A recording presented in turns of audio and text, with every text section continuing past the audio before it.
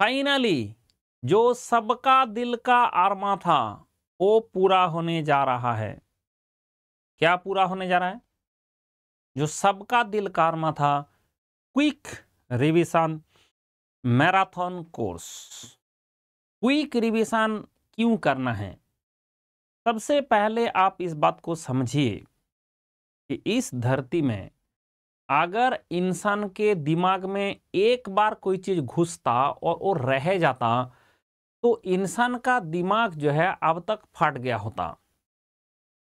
क्योंकि जब तक गार्बेज को आउट नहीं करोगे, तब तक गार्बेज इन नहीं होगा।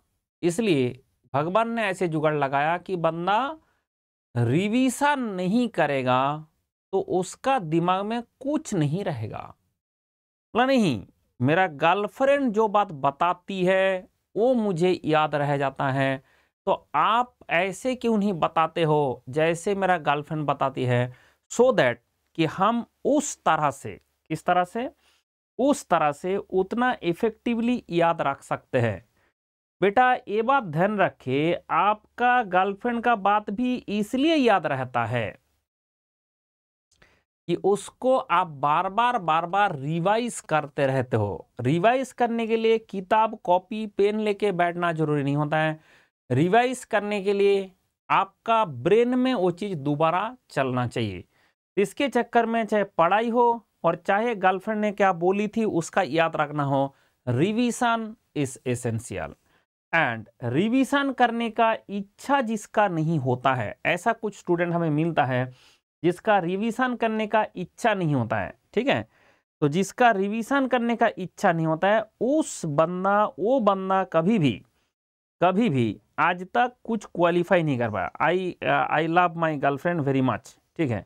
भाई, सबको अगर गर्लफ्रेंड है तो गर्लफ्रेंड को यू शुड लव ठीक है? एंड दैट शुड बी ये बात ध्यान रखे। ये मंडल का एक थ्योरी है, जो बंदा जो बंदा अपना बीबी से प्यार नहीं करता है, उसका ज़िंदगी बेकार है। इसलिए अगर अपना गर्लफ्रेंड भी है और उसके साथ आप झगड़ते हो तो इसका मतलब आपका ज़िंदगी बेकार है अकॉर्डिंग टू मंडल्स थ्योरी तो थोड़ा सा और चीज़ हमें देख लिया जाए एंड उसके बाद हम शुरू करते हैं हमारा आज का कार्यक्रम।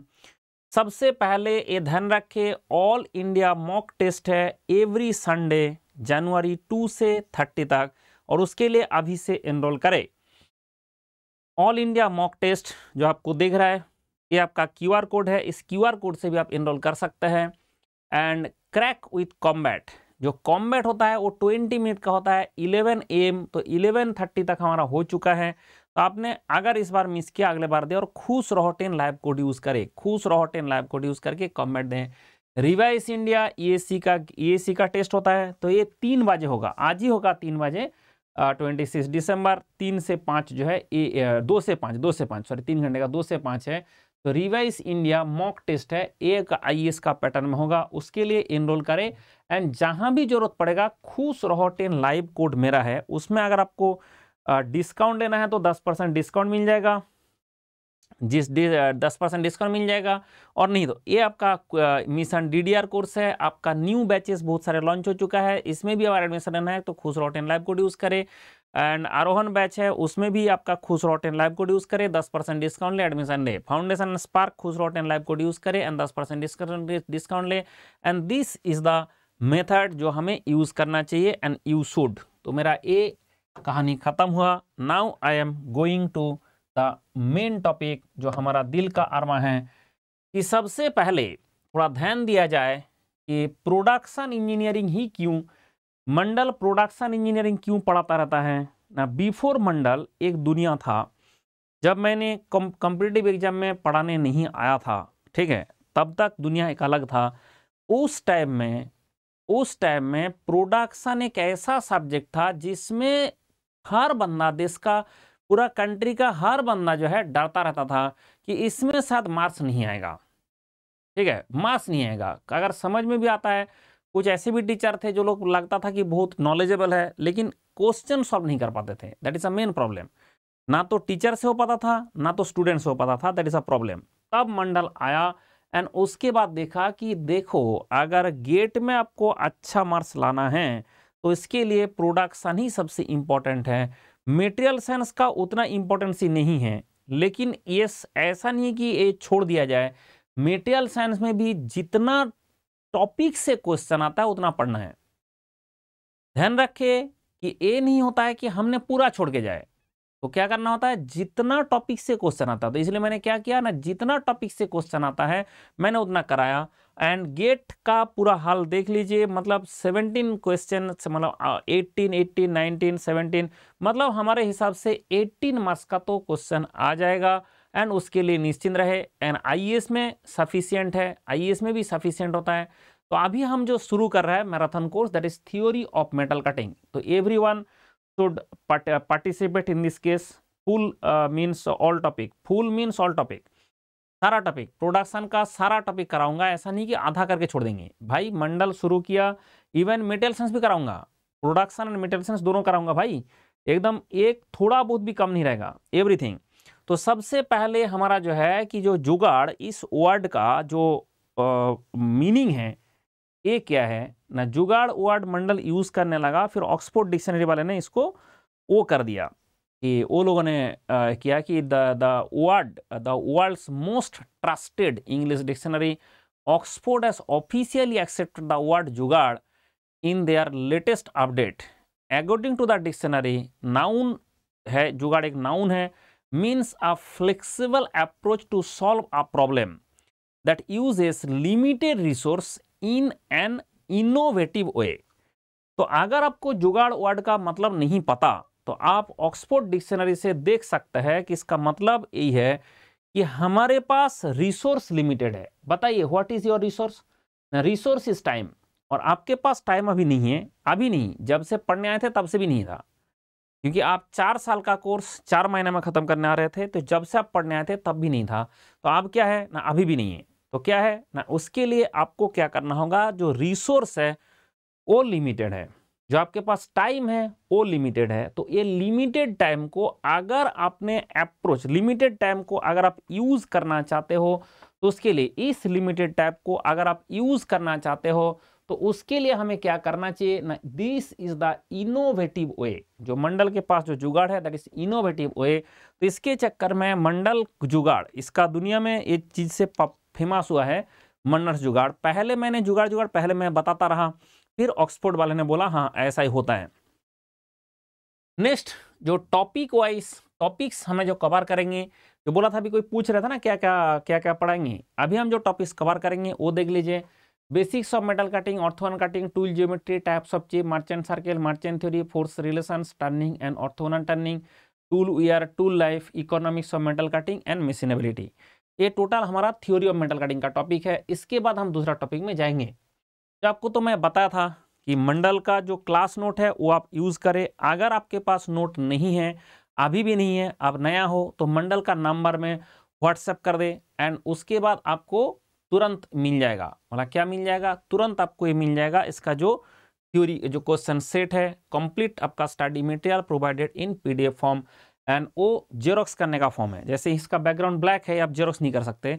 तो उसका आपका बैकग्राउंड व्हाइट करके नॉर्मल प्रोसीड्यूर से बना के दिया गया। तो आप डायरेक्टली उसको यूज़ कर सकते हैं। GATE A C P Y की भी फुल करा दीजिएगा। नहीं नहीं, सारे चीज़ एक साथ नहीं होता है। क्विक रिविजन मतलब क्विक रिविजन उसमें जितना हमें कराना है, जितना चीज़ से दिमाग में घुसता है, उतना कराया जाएगा। ऐसा नहीं कि सारे पी वाई क्यू कराएँगे। सारे पी वाई क्यू कराने के लिए हमारे पास अभी उतना टाइम अवेलेबल नहीं है। हम क्विक रिविजन में जा रहे हैं। सबसे पहला होता है मैन्युफैक्चरिंग वर्सेस प्रोडक्शन जो आपको कल से, परसों से, शादियों से बताया हूँ। मैन्युफैक्चरिंग का मतलब होता है कुछ चीज़ आप मैन्युफैक्चरिंग कर रहे हो। मतलब you are you are making something from some raw materials yes you are making something from raw materials so what will be the English for this manufacturing is a process of converting raw materials in a finish product by using various processes, machines and energy. This is the manufacturing. So then what is production? Production means you are converting input to output. Yes, you are converting input to output.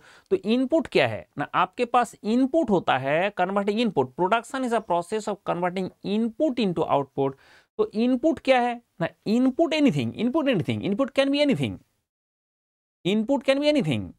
And आपका output क्या है? Output is the finish product तो product ही होना चाहिए। बोले, नहीं, ऐसे नहीं, जैसे मान लीजिए मूवी बन रहा है तो मूवी का जो होता है, उसका बोलता है प्रोडक्शन हाउस जो मूवी होता है, उसका क्या बोलता है? प्रोडक्शन हाउस तो प्रोडक्शन हाउस क्यों बोलता है उसको?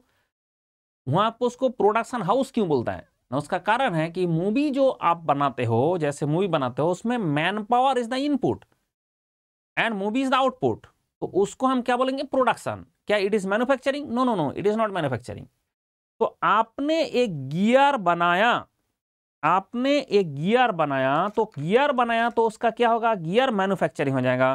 तो आपने एक गियर बनाया तो उसमें कौन सा आ जाएगा? मैन्युफैक्चरिंग कहाँ कहाँ गया मेरा गियर।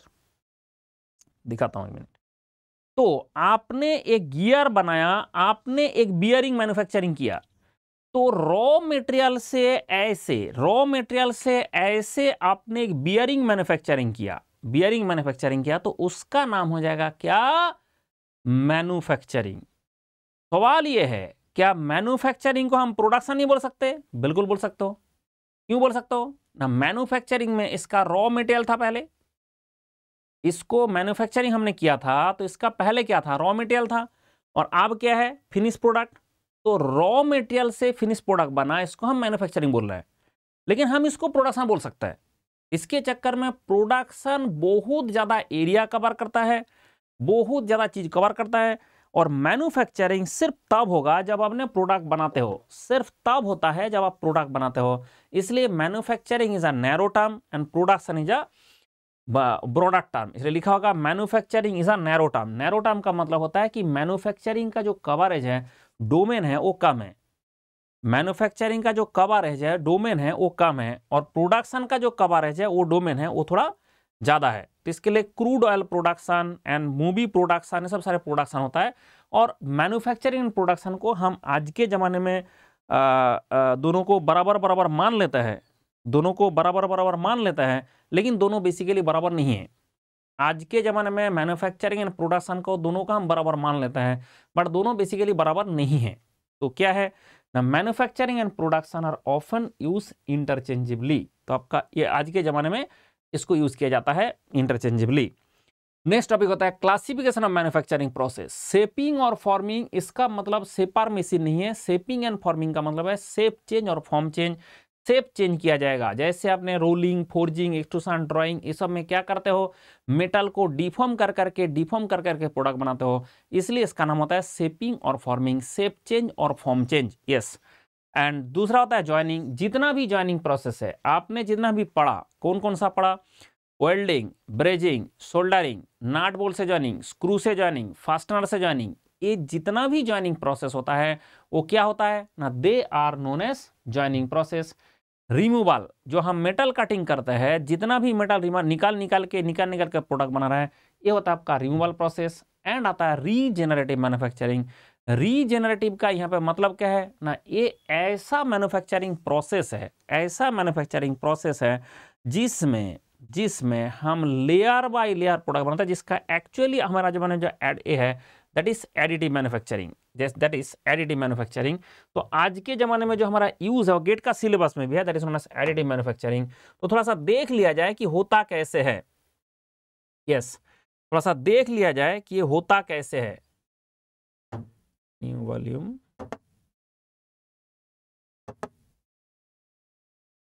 तो अगर आप देखें कि इसका एडिटिव मैन्युफैक्चरिंग और रीजनेटिव मैन्युफैक्चरिंग किस तरह से होता है? एडिटिव मैन्युफैक्चरिंग और रीजनेटिव मैन्युफैक्चरिंग वो किस तरह से होता है? किस तरह से? थोड़ा सा देख लिया जाए।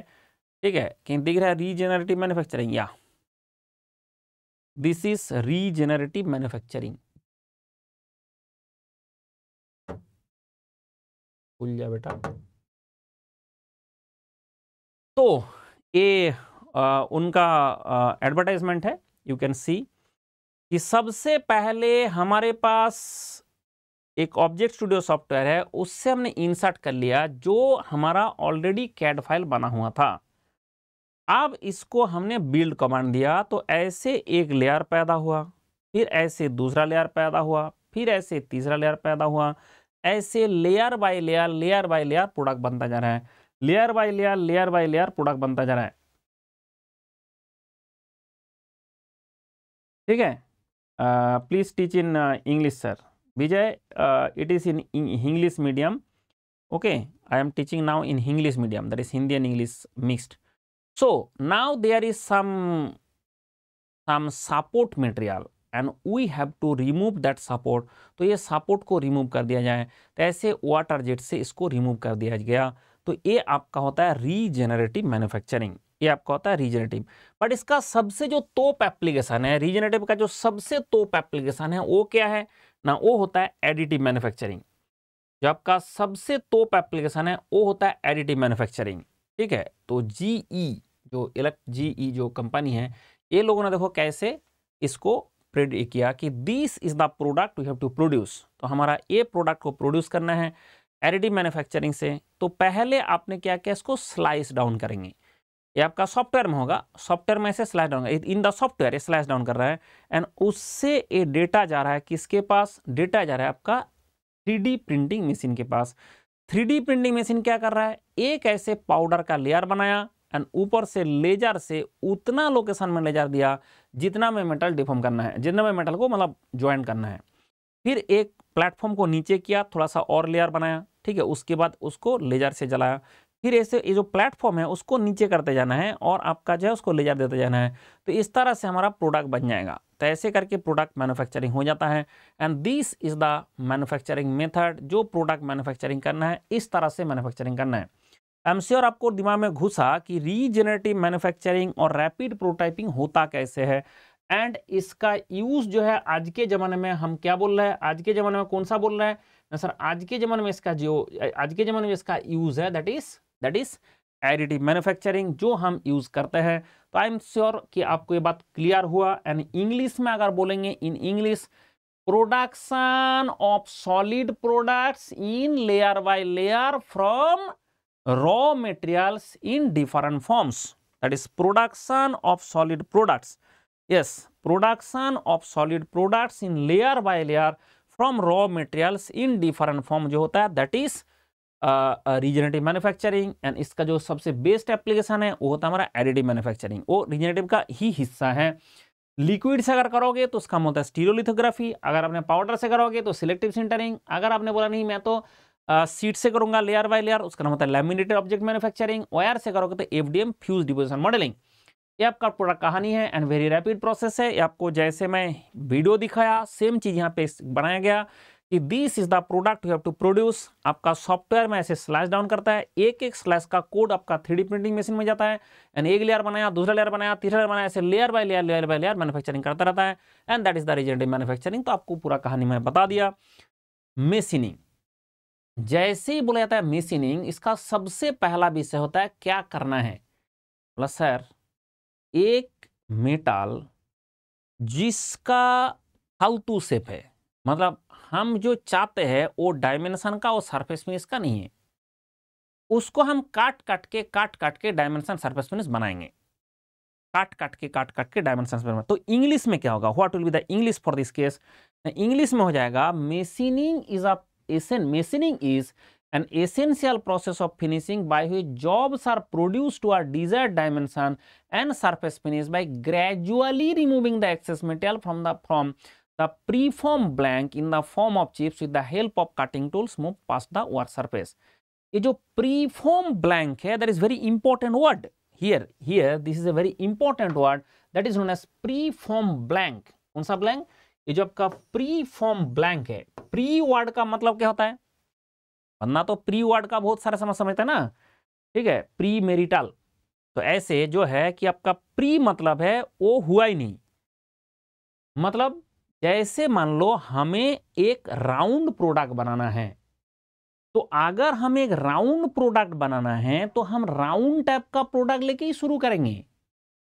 उससे थोड़ा डायमेंशन ज़्यादा रहेगा डायमीटर लंबाई सर ज़्यादा रहेगा, उसको काट काट के हम उसको थोड़ा अपना जो डायमेंशन है वो बना देंगे।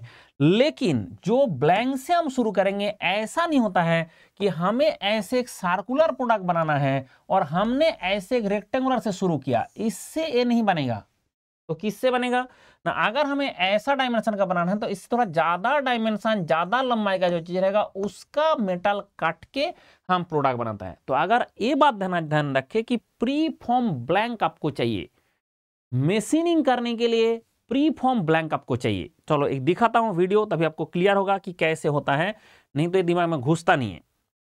ये बात दिमाग में थोड़ा घुसना मुश्किल है कि क्या preform preform what is this preform preform क्या बात हो रहा है प्री फॉर्म का? तो चलो, एक मेसिनिंग देखता है। आपको दिख रहा है पे मेसिनिंग या, ये आपका गू रिंग कंपनी है, उसका मशीन है। ठीक है?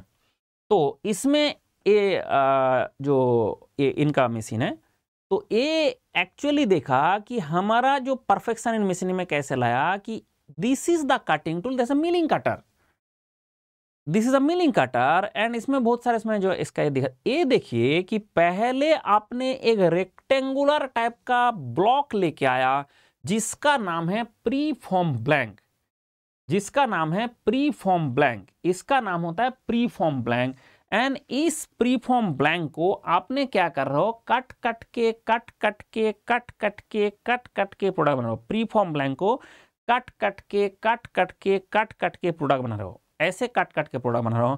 तो आप क्यों काट रहे हो? Why you are why you you are cutting this material ऐसे छिलका निकालते क्यों जा रहे हो? जब तक हमारा डिजायर्ड डायमेंशन नहीं बन जाता है, जब तक हमारा डिजायर्ड सरफेस फिनिश नहीं बन जाता है, तब तक हम नहीं छोड़ेंगे। जब तक हमें डिजायर्ड डायमेंशन नहीं बन जाता है, जब तक हमें डिजायर्ड सरफेस फिनिश नहीं बन जाता है, तब तक हम नहीं छोड़ेंगे। इसलिए जब तक डिजायर्ड डायमेंशन, जब तक डिजायर्ड सरफेस फिनिश नहीं बन जाता है, तब तक इसको नहीं छोड़ेंगे।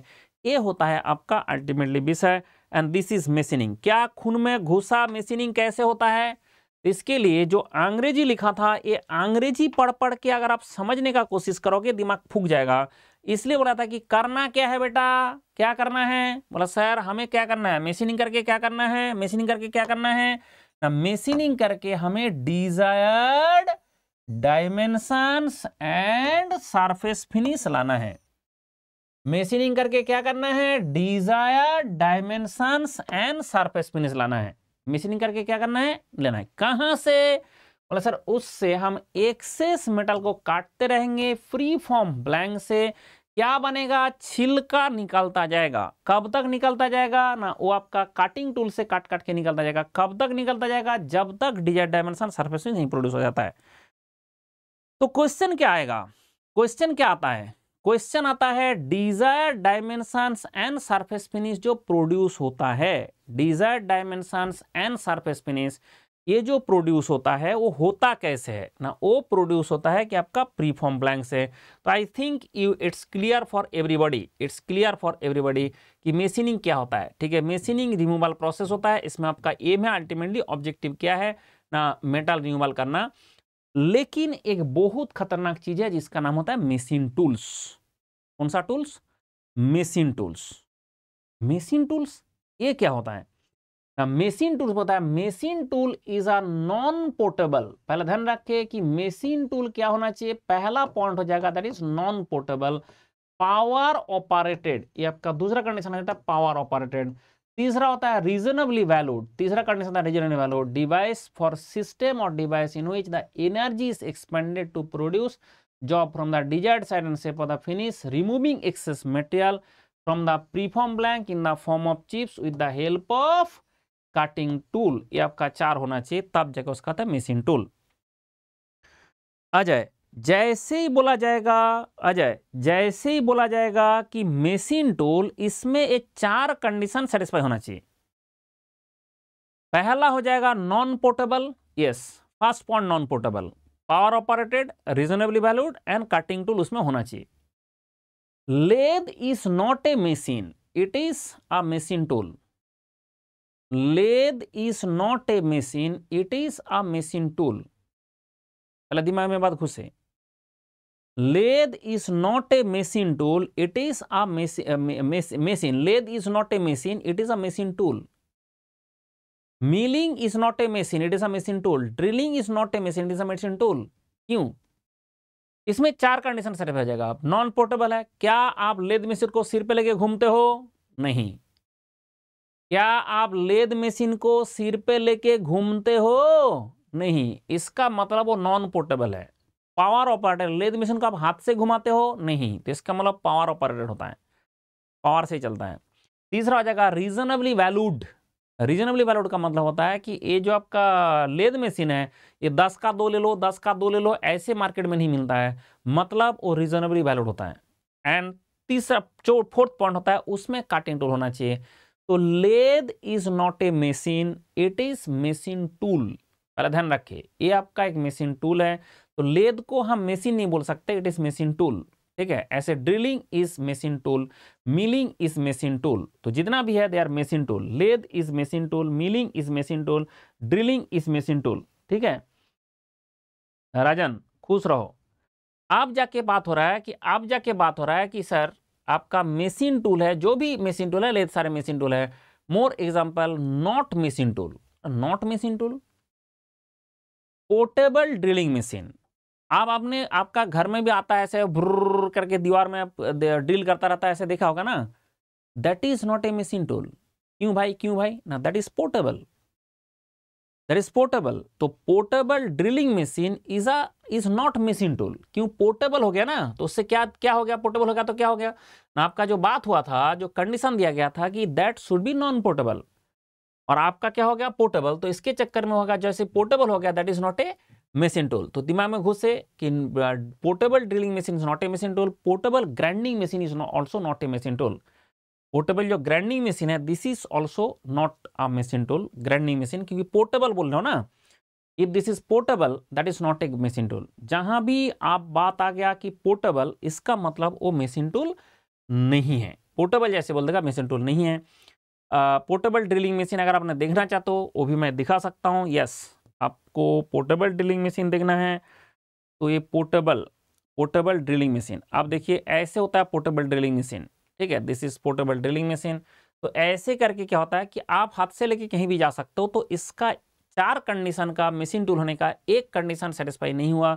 उसके चक्कर में ये मशीन टूल नहीं है। तो ये क्या है? ना this is not a machine tool portable होने के चक्कर में this is not a machine tool ये आपका पोर्टेबल ग्राइंडिंग मशीन जो पोर्टेबल ग्राइंडिंग मशीन होता है, ये भी हाथ से उठा के कहीं पे आप लेके जा सकते हो। ऐसे रास्ते के साइड में हमने देखते ही, देखे ही होंगे, चिंगारी बनता रहता है। तो ये जो चीज़ है this is not a machine tool क्यों ना मशीन टूल ना, ये आपका जो है पोर्टेबल है, इसलिए मशीन टूल नहीं है, क्योंकि दिस इज़ पोर्टेबल तो पहले ध्यान रखें कि जहाँ भी ऐसे पोर्टेबल पोर्टेबल बोला जाएगा that is not a machine tool जहाँ भी पोर्टेबल बोला जाएगा क्या हमेशा drilling machine port machine machine tool नहीं होता है? तो आपको दिखाता हूँ कहाँ पे आपका ऐसा कंडीशन आएगा जहाँ पे ग्राइंडिंग मशीन भी हो जाएगा।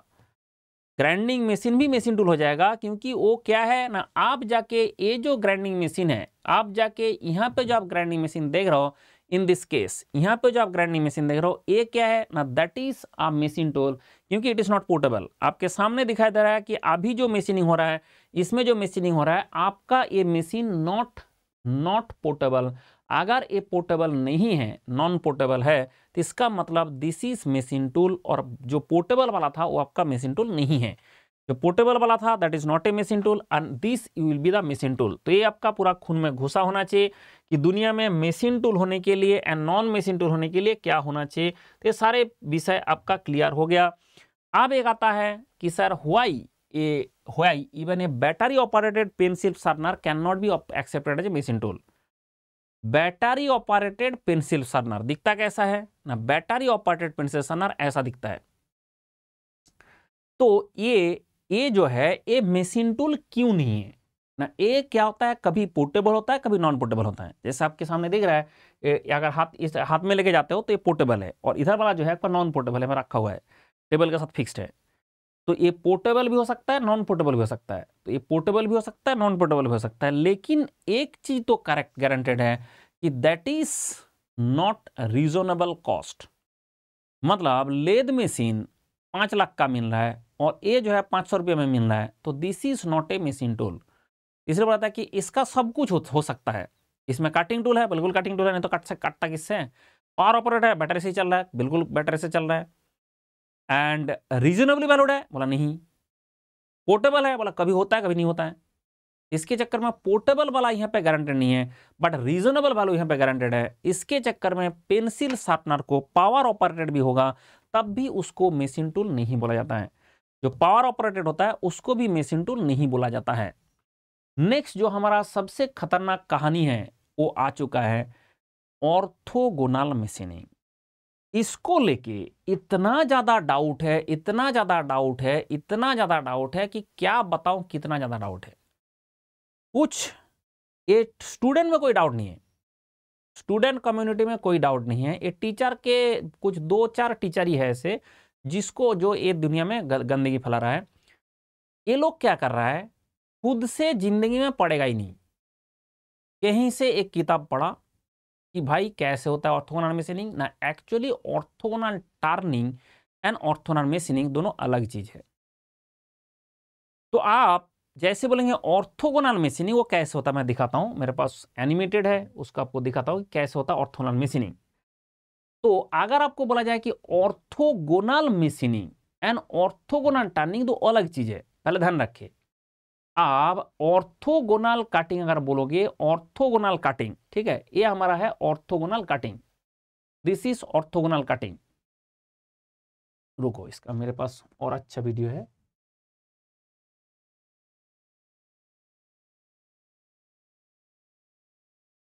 या। तो जैसे ही देखोगे दिस इज़ ऑर्थोगोनल कटिंग आपके सामने दिख रहा है this is orthogonal cutting this is orthogonal cutting Tanmay जो मैं पढ़ा रहा हूँ, वो पढ़ो। कौन क्या बोल रहा है दुनिया में, वो मत सोचो। आप यहाँ पे आपको लिखने का भी ज़रूरत नहीं है। तो ये क्या है कि ये क्या है कि आपका क्या होता है कि दिस इज़ ऑर्थोगोनल कटिंग तो ऑर्थोगोनल कटिंग जो है दिस इज़ ऑर्थोगोनल कटिंग जो आपके सामने दिख रहा है। सर आपको कैसे पता? हमने किए थे? इस धरती में, पूरा धरती में, जहाँ भी आप चलो गूगल में सर्च कर लो ऑर्थोगोनल कटिंग यही दिखेगा। आप कल्पाइजन का बुक में जाकर देख लो, जो बाइबल माना जाता है, उसमें यही दिखेगा। अब क्या होता है, और एक है ऑर्थोन टर्निंग और एक है ऑर्थोन टर्निंग दोनों दोनों अलग चीज़ है। और एक है ऑर्थोन टर्निंग मैं दिखा रहा हूँ कि कैसे दिखता है ऑर्थोन टर्निंग और एक चीज़ है ऑर्थोनल टर्निंग तो दिस इज़ ऑर्थोनल टर्निंग तो इसमें क्या होता है कि ऑर्थोनल टर्निंग ए भी है टू डी है ए भी टू डी है। आप दिस इज़ ऑर्थोनल टर्निंग तो orthogonal turning and orthogonal cutting दोनों अलग चीज़ है। इसलिए दोनों को मिक्स करके खिचड़ी ना बना ले। स्टूडेंट नहीं बनाता है, ये टीचर लोग बनाता है। दो टीचर है देश में, एक नहीं, दो पीस है। ऐसे दो पीस है, वो ज़िंदगी में खुद से सीखने का कोशिश नहीं कर रहा है, उल्टा सीधा स्टूडेंट को समझा रहा है। इसलिए स्टूडेंट डाउट में फंस जाता है नहीं तो कोई दिक्कत नहीं है। वो दो टीचर को छोड़ दो दुनिया दिन अगर दुनिया से हटा दो तो फिर बाकी सब लोग ठीक है। मतलब आप गूगल में सर्च करो आपको सब ऑर्थोन कटिंग ऑर्थोन मिलेगा जैसे मैं दिखा रहा हूँ। एंड uh, अगर आपने दो टीचर है देश में उस दोनों को हटा दो तो उसके बाद जाके ये लोचा खत्म हो जाता है ठीक है? इसके चक्कर में ये जो चीज़ है कि आपको ऑर्थोगोनल कटिंग का जैसी बात किया जैसी ऑर्थोगोनल कटिंग का बात किया ऐसे तो आपका हो जाएगा ऑर्थोनल कटिंग मतलब ऑर्थोनल मिशनिंग। अभी हम ऑर्थोनल का बात करेंगे पहले। इसमें क्या होता है, कुछ एंगल्स होता है, ठीक है? तपस। सिद्धार्थ, किसी का, मेरा जो रूल है कि मेरा चैट बॉक्स में कोई भी किसी टीचर का नाम मत लिखो, ठीक है? Siddharth. This is the rule किसी भी टीचर का नाम मत लिखो, क्योंकि हम यहाँ पे पढ़ाने आए हैं, हम यहाँ पे झगड़ने नहीं आए मेरा इसलिए मुझे बोलना पड़ा क्योंकि इसमें डाउट पैदा स्टूडेंट का ना हो। मुझे कोई टीचर से मतलब नहीं है, मुझे स्टूडेंट से मतलब है। तो स्टूडेंट डाउट में ना फंसे, इसलिए मुझे बोलना पड़ा। ठीक है, आप बोलोगे, क्यों बोला आपने? नहीं तो स्टूडेंट डाउट में फंस जाता है कि क्या होता है। तो इसलिए आपने गूगल में सर्च करो गूगल इमेज में सर्च कर लो। और गूगल इमेज में सर्च करो अर्थवन कटिंग तो आपको दिखेगा वही। बोला, क्या सर्च कर लो क्या? करके दिखा देता हूँ आपको। जैसे मैंने, मेरा एक गूगल मैं एक खोल रहा हूँ, उसमें जाके लिख देता है ऑर्थोगोनल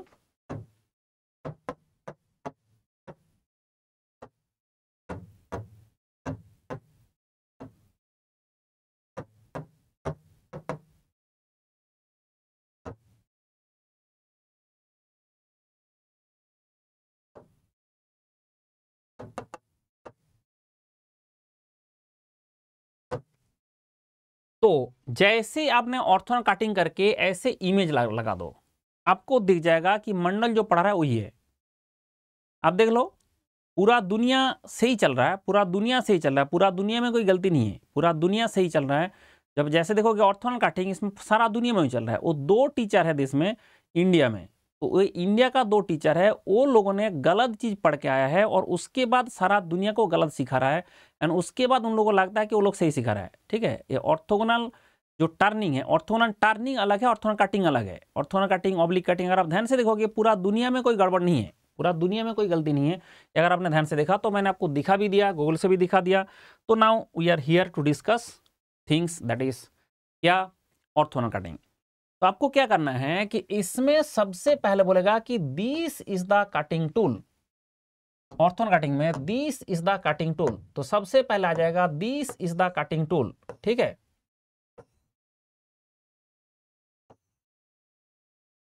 और आपका जो वर्क पीस है this is the work piece जो बन रहा है, ये आपका सीआर प्लेन जहाँ पे मटर का सीआर फेलियर हो रहा है एंड ऐसे करके चला जा रहा है वर्क पीस एंड छिलका ऐसे निकलता जा रहा है। ये आपका पूरा खेल है।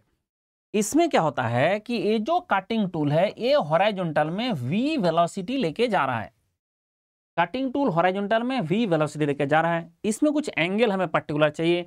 ये कौन सा कटिंग है? ना ऑर्थोन कटिंग इसके चक्कर में ये जो एंगल पैदा होता है this angle is rake angle और सिंपली ऑर्थोगोनल रेक एंगल आपको गूगल में भी दिखा दिया, ठीक है? आपने कल्पाइजन का बुक में जाके देख लो, दुनिया में जो जहाँ पे देखना देख लो तो this is the orthogonal cutting तो ये आपका जो है this is alpha alpha is the orthogonal rake angle and this angle is gamma gamma this angle is gamma gamma is the clearance angle this angle is gamma gamma is the clearance angle and ये जो angle होता है this angle is shear angle that is five this angle is shear angle this is five क्योंकि आपका shear plane है। यहाँ से यहाँ तक जो है सीयर प्लेन हम इसको नाम देता है A B A B is the shear plane अब क्या होता है? छिलका ऐसे जा रहा है। ये जा रहा है वीसी वेलोसिटी लेके। छिलका जो जा रहा है ये जा रहा है आपका वीसी वेलोसिटी लेके। छिलका is moving in the velocity of VC VC velocity लेके चिप जा रहा है। चिप जो मूव कर रहा है वीसी वेलोसिटी लेके, इसके चक्कर में छिलका जो जा रहा है, ये आपका वीसी वेलोसिटी लेके चला जा रहा है।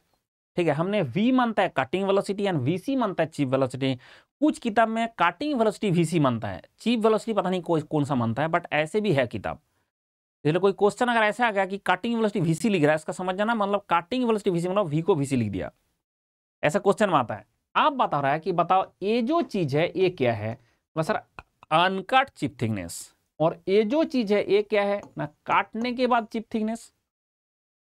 तो आपका जो टी है, इसमें बहुत बड़ा डाउट पैदा होता है कि टी क्या लिया जाए? टी व्हाट इज़ टी ये अगर ऑर्थोगोनल कटिंग में आप ढंग से देख लो, आँख फाड़ के देख लो this is the depth of cut तो इसके चक्कर में यहाँ पर जाएगा T equal to depth of cut किसके केस में हो रहा है? नहीं ऑर्थोन कटिंग हो रहा है। T equal to depth of cut किसमें हो रहा है? ना ये आपका ऑर्थोगोनल काटिंग में आ रहा है। तो T equal to depth of cut लेकिन अगर आप टर्निंग में चले जाओगे तो अलग हो जाएगा। तो फिर टर्निंग में चले जाएँगे तो कैसे हो जाएगा ना? टर्निंग ऑपरेशन में जब जाते हैं, उसके चक्कर में इसमें चेंज हो जाएगा। तो T इक्वल टू हो जाएगा F into sine lambda a हो जाएगा टर्निंग ऑपरेशन के केस में। और t equal to F into sine of 90 degree हो जाएगा ऑर्थोगोनल टर्निंग में।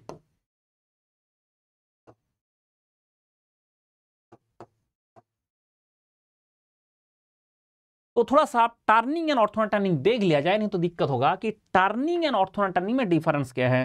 ना, अगर हम बोलेंगे टर्निंग एनीथिंग जैसे हमने बोला टर्निंग जैसे हमारा यहाँ पे देख लेते हैं टर्निंग तो इसमें क्या होता है कि this operation straight turning operation मतलब आपका टर्निंग ऑपरेशन ऐसे होते जा रहा है। ठीक है? ये आपका स्ट्रेट टर्निंग ऑपरेशन है this is straight turning operation तो in this case T equal to F sine lambda होगा।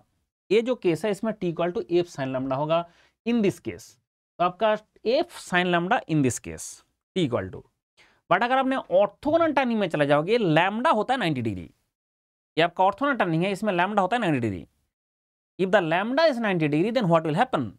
Now lambda 90 degree मतलब sin lambda equal to 1.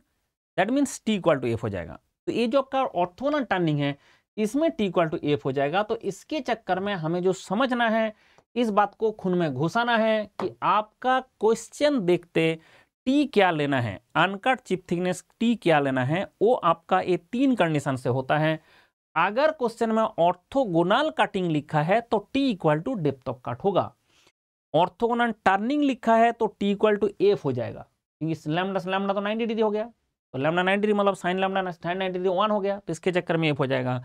अगर ओनली टर्निंग लिखा है, T equal to F sine lambda होगा। अब सवाल ये आया कैसे? How this is coming into picture ये जो T equal to F sine lambda turning में कैसे आया, वो थोड़ा ध्यान रखना ज़रूरी है कि वो कैसे आया।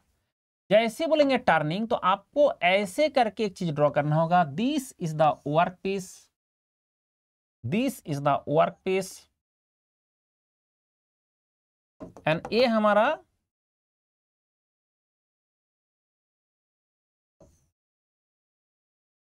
तो this is the work piece a हमारा टूल है. ए हमारा एक ट्रांसफॉर्म होता जा रहा है। बोला, क्या ट्रांसफॉर्म होता जा रहा है? यहाँ पे बोलता है इसका ट्रांजिशन सरफेस कौन सा सन? ट्रांजिशन सरफेस कौन सा सरफेस ट्रांजिशन सरफेस तो यहाँ पे क्या होता है T is the transition surface यहाँ पर ट्रांजिशन सरफेस तो इसमें ट्रांजिशन सरफेस में, ये आपका आता है ट्रांजिशन सरफेस यहाँ पे दिख रहा है दिस इज़ ट्रांजिशन सरफेस अब यहाँ से यहाँ तक डायमीटर धीरे धीरे धीरे धीरे घटता जा रहा है. यहाँ से यहाँ तक डायमीटर धीरे धीरे घटता जा रहा है. तो diameter is coming down diameter जो है, इसका से धीरे धीरे धीरे धीरे घटता जा रहा है. ऐसे डायमीटर धीरे धीरे घटता जा रहा है.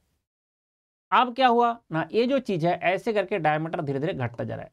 तो ये जो चीज़ है, यहाँ पे बनता है tool this is the tool तो ऐसे करके बनता है that is the cutting tool अगर ध्यान से देखोगे कि ऐसे करके बनता है that is the cutting tool अब this angle is C S ये जो आपका एंगल है this angle is C S that is side cutting angle lambda नहीं है।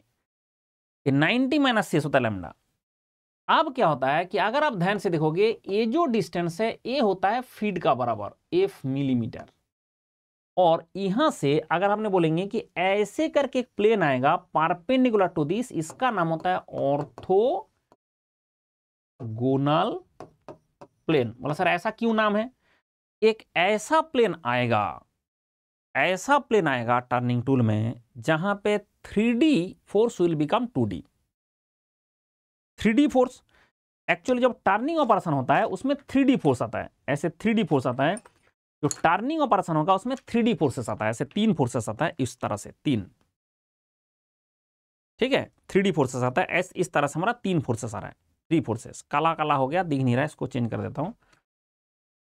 दिस अब क्या है कि अगर आपका ऐसे थ्री डी फोर्सेस है, तीन फोर्सेस है if they are three forces अगर तीन फोर्सेस हैं, ठीक है, इसको कला को चेंज करके थोड़ा और कुछ कर दिया जाए जिससे दिखाई दे। अब आप ध्यान से देखिए आप ध्यान से देखिए कि ए तीन फोर्स को हम दो कर सकते हैं क्या? वहाँ कर सकता है। एफ़ जेड फोर्स को राख देता है, बोला रहने दे, तू रहा, तू बिंदास रहे। अब F X F I force को जोड़ के एक रिजल्टेंट बनाता है। F X F Y force को जोड़ के एक रिज़ल्ट बनाता है ऐसे। F X F Y force को जोड़ के एक रिज़ल्ट बनाता है ऐसे तो इसके चक्कर में F X F Y force को जोड़ के एक रिज़ल्ट बनाता है ऐसा रिजल्टेंट तो दिस इज़ एफ़ जेड आपका F X F Y force को जोड़ के रिज़ल्ट बनाता है। तब पता चला थ्री था। अब टू बन गया। बेटा कौन सा प्लेन में बना? थ्री से टू बना, कौन सा प्लेन में जाके बना? ना ऑर्थोनल प्लेन में बना। तब जाके ये जो मैंने प्लेन ड्रॉ किया दिस प्लेन यही प्लेन में जाके ए थ्री चीज़ टू बन जाता है।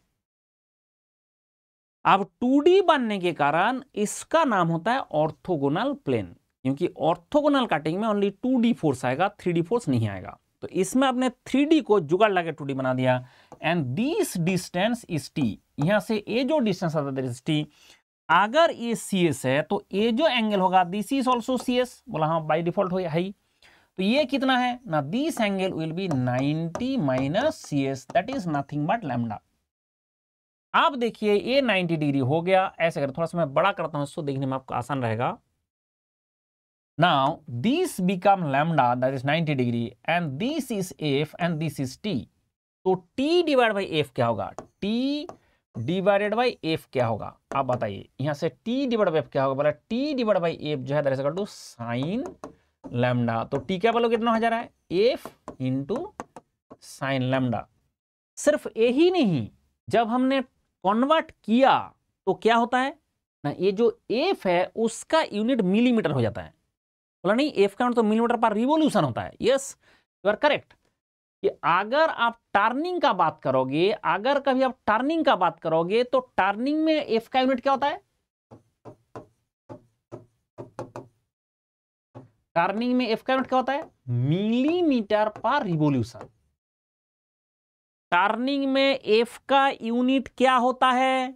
मिलीमीटर पर रिवोल्यूशन और ऑर्थोगोनल कटिंग में एफ़ का क्या यूनिट होता है?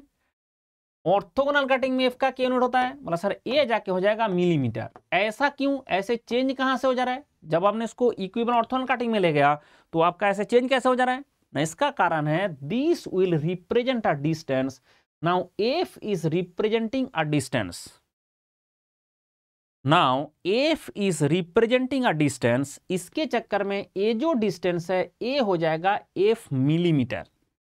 Now F is representing a distance इसलिए हो गया this is F in millimetre इसके चक्कर में एफ़ हो गया मिलीमीटर और ए एफ़ जो है F is representing a distance this is become in millimetre I think अभी आपका क्लियर हुआ खोबड़ा में बात घुसा कि जब Ajay Ajay and everyone sir थोड़ा सा फ़ीड का यूनिट के बारे में बता दीजिए कि फ़ीड कहाँ मिलीमीटर पर मिनट और कहाँ millimetre per revolution Kartik Kartik, जो मेन कॉन्सेप्ट है, यहाँ पे ध्यान रखिए everyone Kartik and everyone main concept क्या है कि आपका फ़ीड मिलीमीटर पर रिवोल्यूशन होता है टर्निंग में।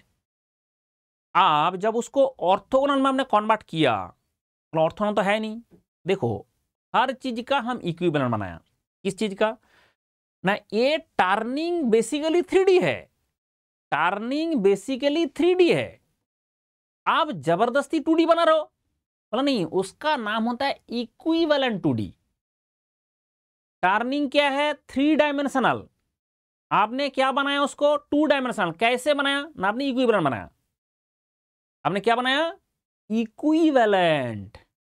और आप ऐसे किसी भी चीज़ का इक्विवेलेंट बनाते हो, जैसे शादी नहीं हो रहा है गर्लफ्रेंड बना लो, अब इक्विवेलेंट तो मिल जाएगी। सेम चीज़ यहाँ पे है। कि आपका turning basically turning basically three है। तो टू कैसे बनाया? पर बनाया नहीं, उसको इक्विवेलेंट जुगाड़ लगाया। उसके चक्कर में टर्निंग गर्लफ्रेंड और बीवी में डिफरेंस है। तो इसके चक्कर में टर्निंग एंड ऑर्थोन कटिंग में जब हमने कन्वर्ट किया, वो जो इक्विवेलेंट बनाया डिफरेंस है। और किसका, उसका डिफरेंस सबसे खतरनाक कौन, कहाँ पे आ रहा है? ना वो आ रहा है कि टर्निंग जब थ्री में आप बात करते हो, तब जाके एफ़ का यूनिट मिलीमीटर पर रिवोल्यूशन है। और जब आपने उसको ऑर्थोनल में कन्वर्ट किया, वही मिलीमीटर बन गया। ना कैसे मिलीमीटर बन गया, ना उसका अगर जियोमेट्री से देखोगे, तब देखेगा this distance is F millimetre. और हम जो टी डिवाइड बाई एफ़ किया, आपका टी डिवाइड बाई एफ़ किया टी का यूनिट मिलीमीटर एफ़ का यूनिट मिलीमीटर, इसके चक्कर में T divide by sine lambda वगैरह मतलब ये जो T equal to F sine lambda होता है, उसका एफ़ का यूनिट मिलीमीटर होता है। अब दिस यूनिट ऑल्सो चेंज्ड, क्योंकि आपने टर्निंग को इक्विवेलेंट ऑर्थोगोनल बनवाया थ्री को ज़बरदस्ती टू बनवाया, इसके चक्कर में ये लोचा पैदा हुआ। तो अगर आप बोलेंगे, सर, ये जो आपका T equal to depth of काट होता है, कब होता है? ना ऑर्थोन काटिंग में होता है। आप आपने ऑर्थोन काटिंग है नहीं टर्निंग उसको ज़बरदस्ती ऑर्थोन काटिंग बना रहे हो। तो एट द टाइम आपको इक्विवेलेंट यूज़ करना पड़ेगा, तब जाके T equal to F into sine lambda होगा बट इस एफ़ का यूनिट मिलीमीटर होगा, ध्यान रखे। एंड अगर आप बोलेंगे, सर, ऑर्थोगोनल टर्निंग हो गया तो टर्निंग का ही एक वेराइटी है। वो टर्निंग का एक वैरायटी है, उसमें तीन फोर्स का एक फोर्स ज़ीरो हो जाता है। एफ़ आई फोर्स उसमें ज़ीरो होता है। तीन फोर्स का एक फोर्स ज़ीरो हो जाता है।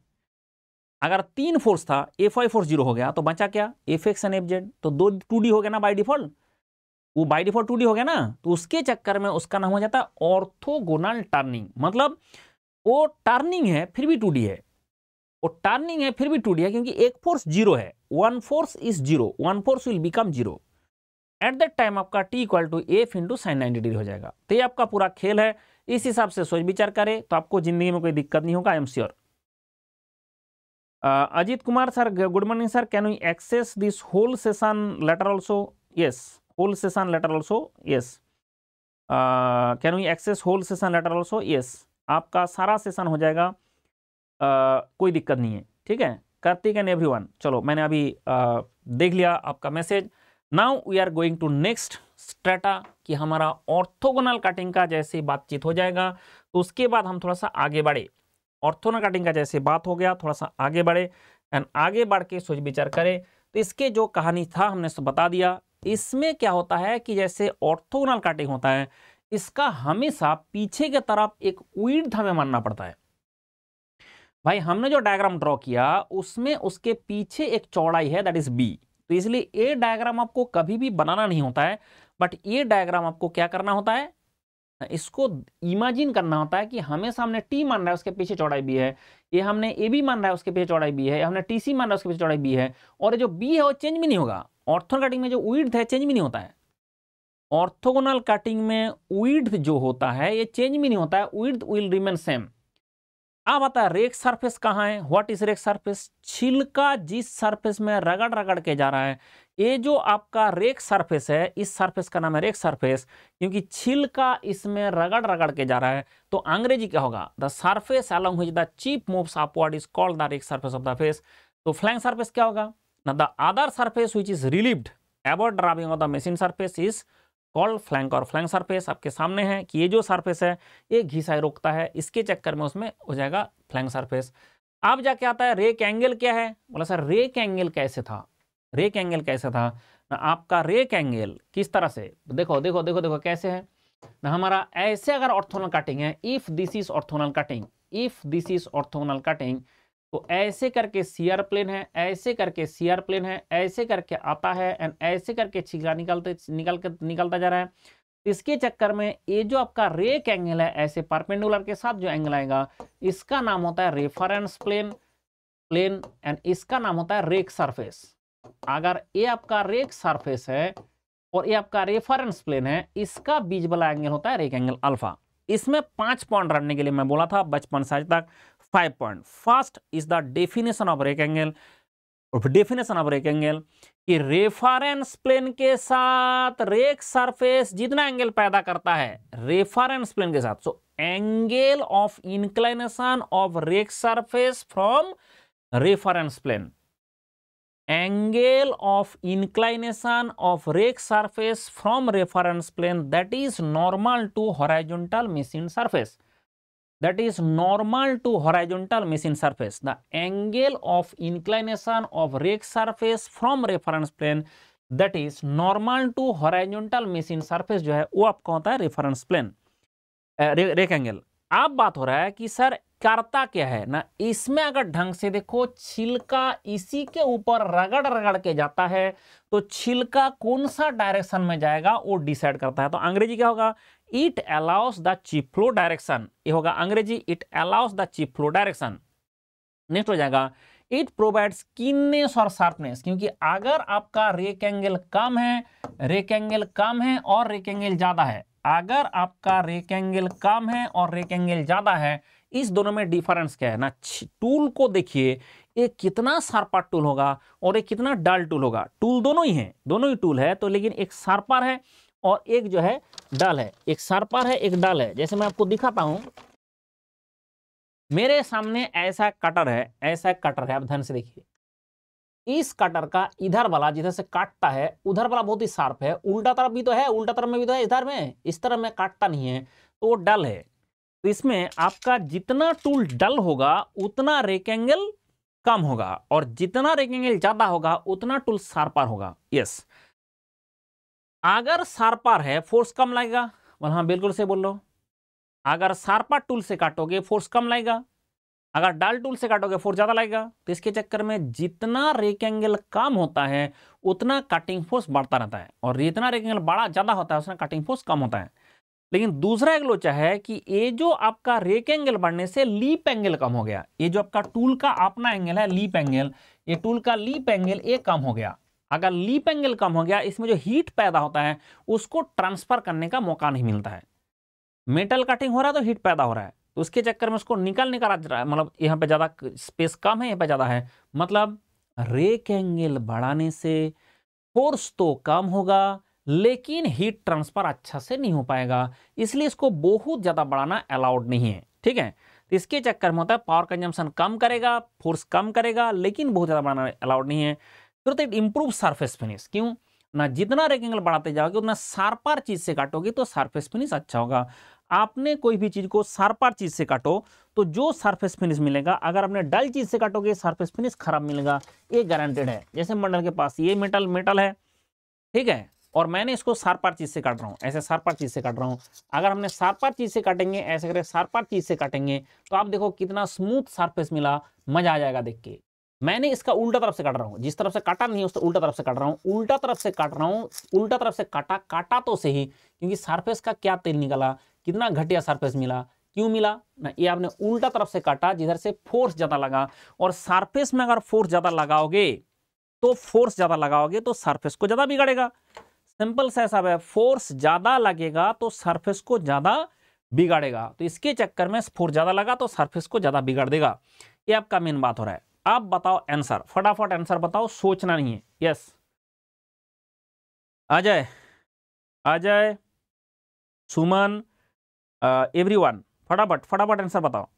जैसे बोलेगा which one of the following statement is not correct with reference to the purpose and effect of the rake angle of the cutting tool इसमें कौन सा रेक एंगल का काम नहीं है। मैंने आपको पाँच काम बताया, वो पाँच काम रटने के बाद एक काम होगा जो गलत है। तो इसके चक्कर में इसका आंसर मिलेगा। बोला, sir to guide the chief production बोला, ये रेक एंगल का काम है बेटा।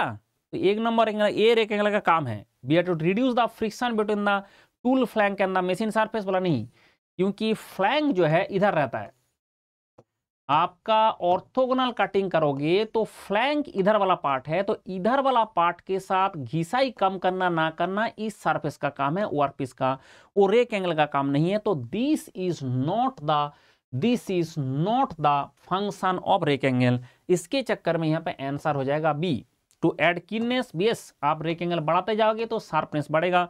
To provide better thermal efficiency क्योंकि हीट ट्रांसफ़र का, ये एफिशिएंसी मतलब वो मेका थार्मोडाइनमिक्स वाला एफिशिएंसी नहीं है?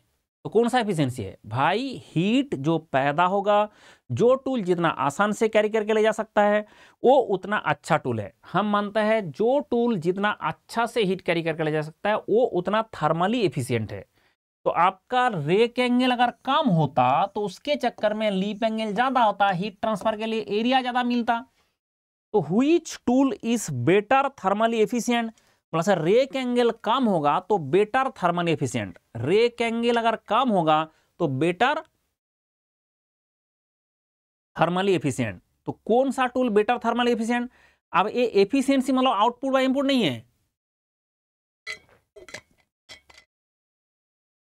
यहाँ पे एफिशिएंसी का मतलब आउटपुट बाय इनपुट नहीं है। तो कौन सा पुट है? क्या है फिर? यहाँ पे मतलब होता है कि जो मेटल कटिंग में हीट पैदा होगा, उसको कौन आसान से कैरी करके ले जाएगा? जो आसान से कैरी करके ले जाएगा, वो उतना अच्छा टूल है। जो जितना आसान से कैरी कर ले जाएगा, वो उतना अच्छा टूल है। तो आंसर कौन सा मिला? बी तो सब लोगों ने B B B B B B B B B answer दे दिया। Very good very good please explain option D sir yes Vijay Vijay sir Vijay is it clear to you Vijay what happen this thermal efficiency is not related to thermodynamics. It is related to production. And in production, we want a tool which can transmit heat very easily. So, if the leap angle, if the leap angle of the tool is more, then heat for the heat transfer, there is more area involved. But if this heat transfer area is very less, then, then this is not a good tool. In metal cutting, it's 100% possible the huge amount of heat production will take place. Huge amount. And you have to carry that heat. So if area involved is more, so this heat transfer will be easy that means thermally efficient. That means this is thermally efficient tool. Okay so in this case efficiency is not like this. Sir please tell me the difference between rake angle and orthogonal rake angle uh, pratik whatever we have studied here in this case whatever we have studied this is orthogonal cutting. So if it is orthogonal cutting then it is orthogonal rake angle so by default in our syllabus orthogonal cutting is there that means if I say orthogonal rectangle or rectangle, they are same. Pratik, if I say orthogonal rectangle or rectangle, they are same. Because rectangle means it is by default orthogonal. But if I say back rectangle, if I say side rectangle, then it is different. Then it is different. So rectangle and orthogonal rectangle, that means it is related to orthogonal cutting. That's why I have explained previous in previous slide that in this uh, in India, there are two teachers, they are con creating confusion to the uh, student fraternity and that's why you cannot solve the question. Using their concept, you cannot solve the question. Okay, that's why what I am saying, what I am saying that rake angle means orthogonal cutting means orthogonal rake angle. And if backrake siderake is written in any question, if backrake siderake written, that means that is related to related to this. So if turning operation involved, this is not orthogonal because there is 3D force involved. In turning operation, 3D force involved, and in this orthogonal plane, we make them 2D.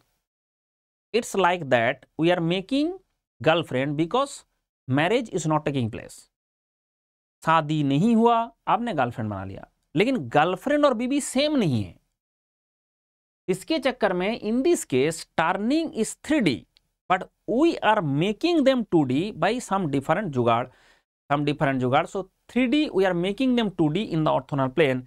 so in check the rake angle then it will be orthogonal rake angle so in turning you can say back rake angle side rake angle and in turning if we go in this plane then it will be orthogonal plane. And if we cut this tool in this plane then some rectangle will come that is known as orthogonal rectangle. But this is actually ortho orthogonal rectangle means rectangle.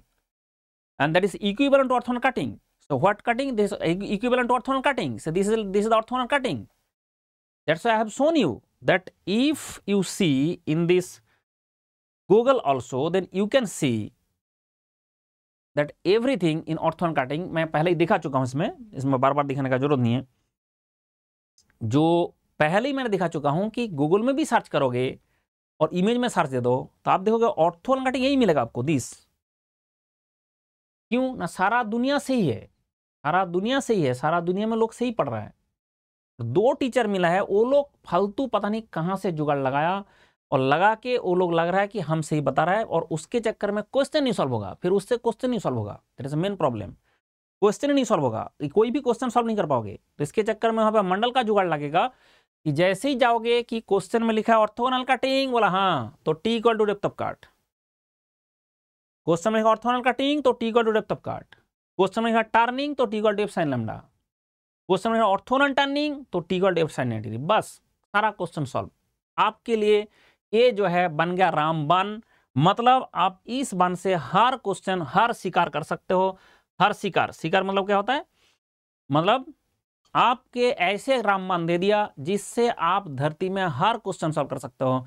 इसलिए question solve करना होगा तो correct चीज़ सीखना होगा तो मंडल से पढ़ना होगा। GATE 1995 and 2008 cutting power consumption in turning can be significantly reduce by आप बोल रहे हैं कटिंग पावर कम करना है। देखो फोर्स से जो जो चीज़ कम होता है। आंसर दो एवरीवन आंसर दो। फोर्स से जो जो चीज़ कम होता है।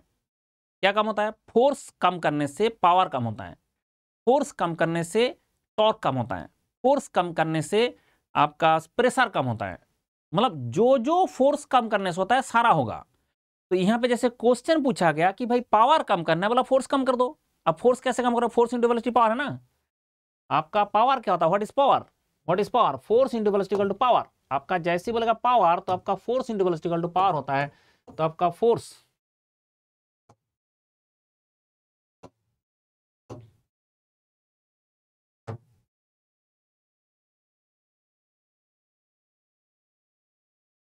तो जैसे बोलेगा पावर तो आपका जो पावर होता है power that is equal to force dot product velocity force होता है? डॉट प्रोडक्ट है वेलोसिटी अब आपको पावर कम करना है तो फोर्स कम करना है। वेलोसिटी का आप यहाँ पे कुछ कर नहीं सकते तो पावर कम करना है तो फोर्स को कम करना है। इसको फोर्स को कम करके हमें पावर कम करना है। तो मुद्दा बात यहाँ पे आ रहा है कि अगर आपको बोला जाए कि बताओ कैसे करना है, आप बोलोगे हमें फोर्स को कम करके पावर कम करना है तो फोर्स कैसे कम हो सकता है? ना रेक एंगल बढ़ाओ। रेक एंगल बढ़ाओ तो increasing the rake angle of the tool आपका फोर्स कम कर सकता है।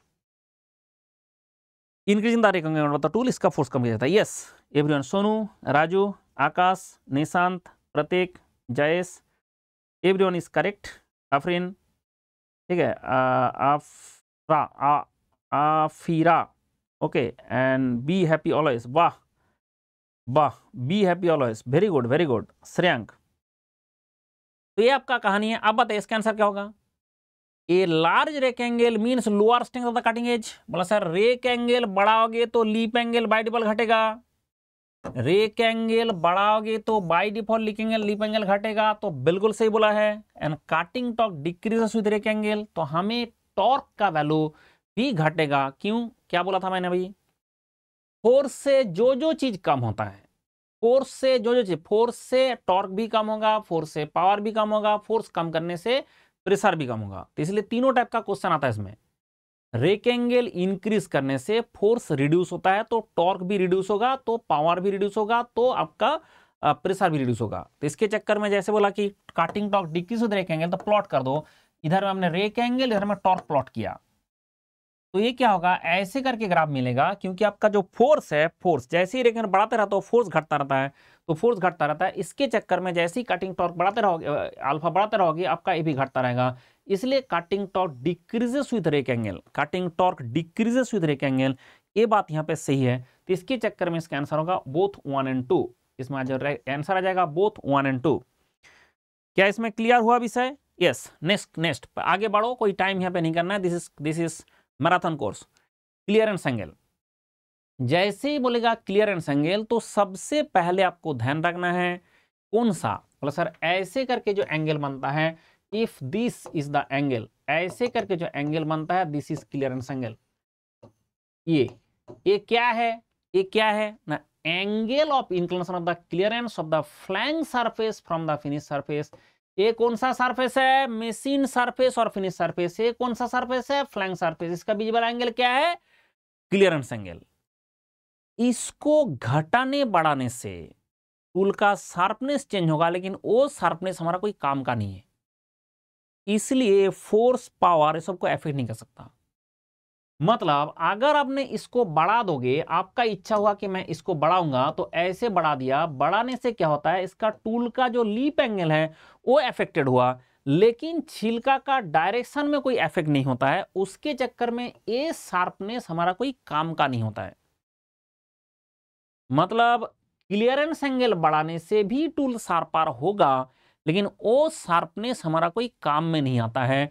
क्योंकि छिलका का डायरेक्शन अफेक्टेड नहीं होता है। चिप का डायरेक्शन इसमें अफेक्टेड नहीं होता है। इसलिए वो जो चीज़ है, वो हमें कभी भी काम नहीं करता है। मशीनिंग और नोट रिकॉर्ड मनीष, किसी भी चीज़ का नोट रिक्वायरमेंट है, मेरा व्हाट्सएप में मैसेज भेज दो, आपको सब मिल जाएगा, आप निश्चिंत रहे। ठीक है? श्रेयांक, देखो जो जो सबसे तोप बात है कि आपको ऐसा बहुत सारा स्टूडेंट का डाउट है कि रेक एंगल को अगर हम बढ़ाएँगे तो लीप एंगल घटेगा। तो टूल हमारा शार्पर होता है, बिल्कुल आपने सही बोला। ये हमारा पहला टूल था, इसका आपने रेक एंगल रखा था, मान लीजिए पंद्रह डिग्री। तो आपका लीप एंगल इतना था, फिर आपने क्या किया बोला? मैंने रेक एंगल को बढ़ा के और बढ़ा दिया रेक एंगल बढ़ा दिया। आपने रेक एंगल बढ़ा दिया अल्फ़ा कर दिया पचास forty five degree. Forty five degree. आप जैसे ही फोर्टी फाइव डिग्री कर दिया, अब क्या हुआ कि ये जो टूल है, ये सर पर हो गया। क्योंकि आपका जो लीप एंगल है, बहुत घट गया टूल बिकम सर पर। अब छिलका पहले ऐसे जा रहा था, अब छिलका आराम से निकलेगा, इसलिए फोर्स कम होगा। तो this sharpness of the tool will be in use और इसमें आप लीप एंगल बढ़ा दिए आपने क्लियरनेस एंगल बढ़ा के लीप एंगल कम कर रहे हो, टूल शार्पर तो हो रहा है, लेकिन वो शार्पनेस आपका कोई काम में नहीं आएगा। इसलिए क्लियरेंस एंगल बढ़ाने से cutting force, cutting power affected नहीं होगा, ये हमें ध्यान रखना है। लेकिन जो लीप एंगल कम हुआ, लीप एंगल कम होने से आपका टूल का हीट ट्रांसफ़र एफिशिएंसी खराब हो जाएगा, क्योंकि लीप एंगल कम होने का मतलब है हीट ट्रांसफ़र कम होगा। इसलिए यहाँ पे दिया जाता है देखा जाता है कि भाई ए एंगल को थोड़ा बढ़ाओ, जिससे इस सरफेस को घिस ना दे। मतलब इसका मेन काम क्या हो जाएगा? फ्रिक्शन कम करना टूल वियर कम करना किसका? फ्लैंक का। किसका? फ्लैंक का। तो फ्लैंक जो सरफेस है, उसका फ्रिक्शन कम करना, उसका टूल वियर कम करना। It improve tool life it improve tool life हाँ टूल लाइफ भी इंप्रूव करेगा। इट इंप्रूव टूल लाइफ ये टूल लाइफ भी इंप्रूव करेगा। क्यों करेगा भाई? जिसका टूल का वियर आउट कम हो गया, जिसका टूल का घिसाई कम हो गया तो उसका मतलब तो टूल का लाइफ बढ़ेगा बढ़ेगा बताया टूल लाइफ बढ़ाता है। लेकिन बहुत ज़्यादा नहीं, क्यों? आप जैसे ही बढ़ते जाओगे लीप एंगल कम होगा, फिर टूल का टेम्परेचर बढ़ना शुरू हो जाएगा। इसलिए excessive clearance angle weakens the tool and इसलिए हमारा होता है must be three degree to fifteen degree इसका बोलो तीन से फिफ्टीन डिग्री रखना है। ठीक है? प्लीज़ हो सकता है तो जै, जैसे तुमने क्या बोला? मेरे पास नहीं पहुँचा। पो, पो, पो, पूछा क्या है? जैनिस जो बंदा व्हाट्सएप में मैसेज भेजेगा उसको पहुंचेगा ना? आपका घर में जाके मैं दे के आऊँगा क्या? आपका घर में जाके मैं दे के आऊँ कि लो रखो। भाई मुझे व्हाट्सएप में मैसेज भेजना है तब जाके आपको मिलेगा। अगर ऐसा नहीं होता कि आपका घर में जाके मैं दे के तो जितना भी बंदा है, पूरा देश में सिक्सटी थाउज़ेंड लोगों के पास मेरा मटेरियल है। आप जो मैसेज भेजा उसके पास है। अब जो मैसेज भेजेगा नहीं, उसके पास कहाँ से पहुंचेगा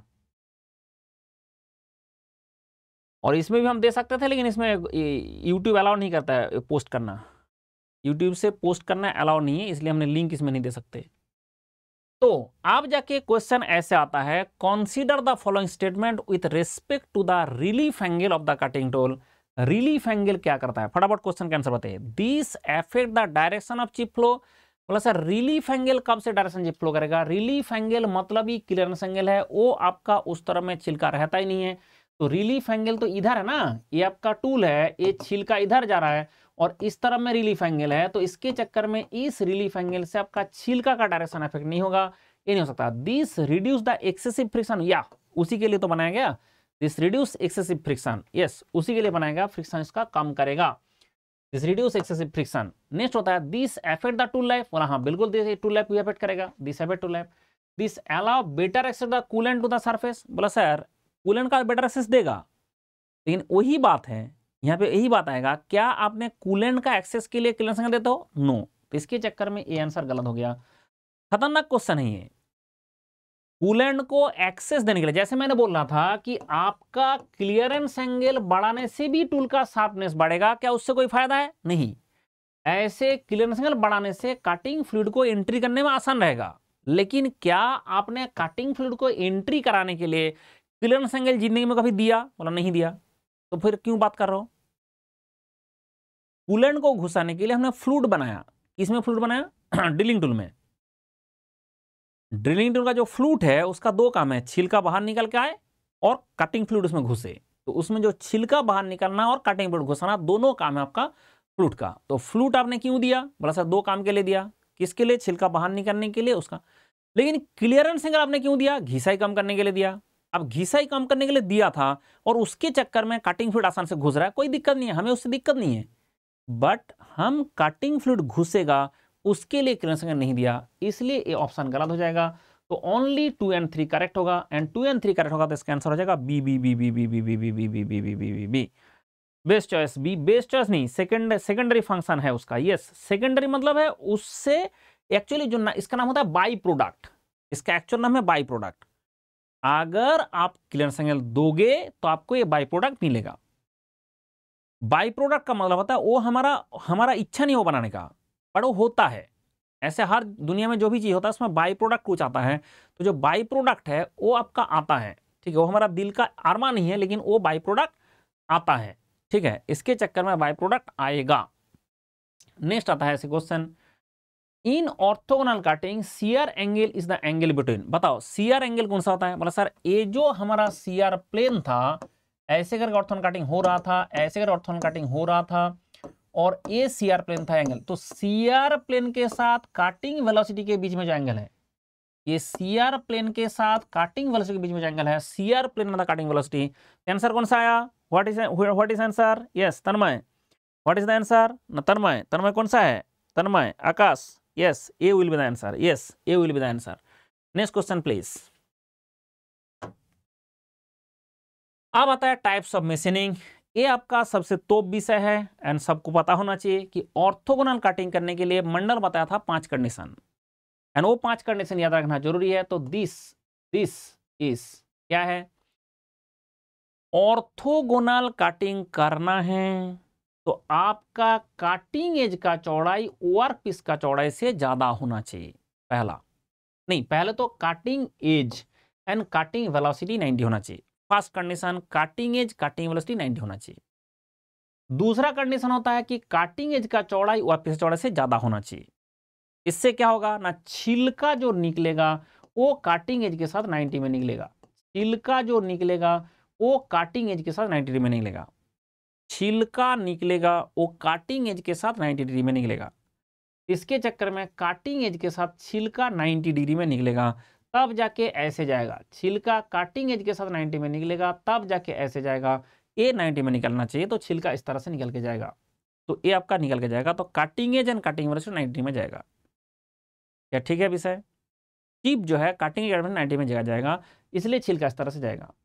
अब उससे फ़ायदा क्या है? ना छिलका अगर सीधा निकला तो इसका मतलब उसका दो दो फोर्स होगा, तीसरा फोर्स नहीं आ सकता। इसमें टू फोर्सेस होगा, उसमें तीसरा फोर्स नहीं आ सकता। मतलब कौन सा तीसरा फोर्स ना अगर छिलका ऐसे स्ट्रेट निकल के गया तो इस डायरेक्शन से कोई फोर्स नहीं है। No force in this direction and इस डायरेक्शन में कोई फोर्स नहीं है। मतलब क्यों नहीं है? भाई, अगर ऐसे फोर्स आता तो छिलका ऐसे चला जाता ना। मतलब इस डायरेक्शन में फोर्स डायरेक्शन में फोर्स आता तो छिलका इधर जाएगा ना तो इधर जाएगा। मतलब ये जो डायरेक्शन है यहाँ पे कोई फोर्स नहीं है। तो फोर्स किधर है? एक ऐसे काट काट के जा रहा है, इधर से आता है एफ़ सी काटिंग फोर्स और छिलका एक रिएक्शन फोर्स देता है थ्रास फोर्स लेकिन ये जो डायरेक्शन वाला फोर्स है in this direction there is no force and इसलिए होता है टू डी टू डायमेंशनल अब सवाल है छिलका टेढ़ा हो गया तो? बोला छिलका टेढ़ा खुद से नहीं होगा, तुमने टेढ़ा किया। अगर आपने इधर से फोर्स दिया छिलका ऐसे टेढ़ा होगा। अगर हमने ऐसे फोर्स दिया तो छिलका ऐसे टेढ़ा होगा। तो आप जिधर में फोर्स दोगे, उस तरह से छिलका टेढ़ा होगा ना? आप जिधर से फोर्स दोगे, उस तरह से छिलका टेढ़ा होगा। तो आप फोर्स जिस तरफ़ से दोगे, उस तरफ़ से छिलका टेढ़ा होगा। तो इसलिए ध्यान रखना ज़रूरी है कि छिलका किधर टेढ़ा होगा टेढ़ा होगा तो वो डिसाइड होता है फोर्स से।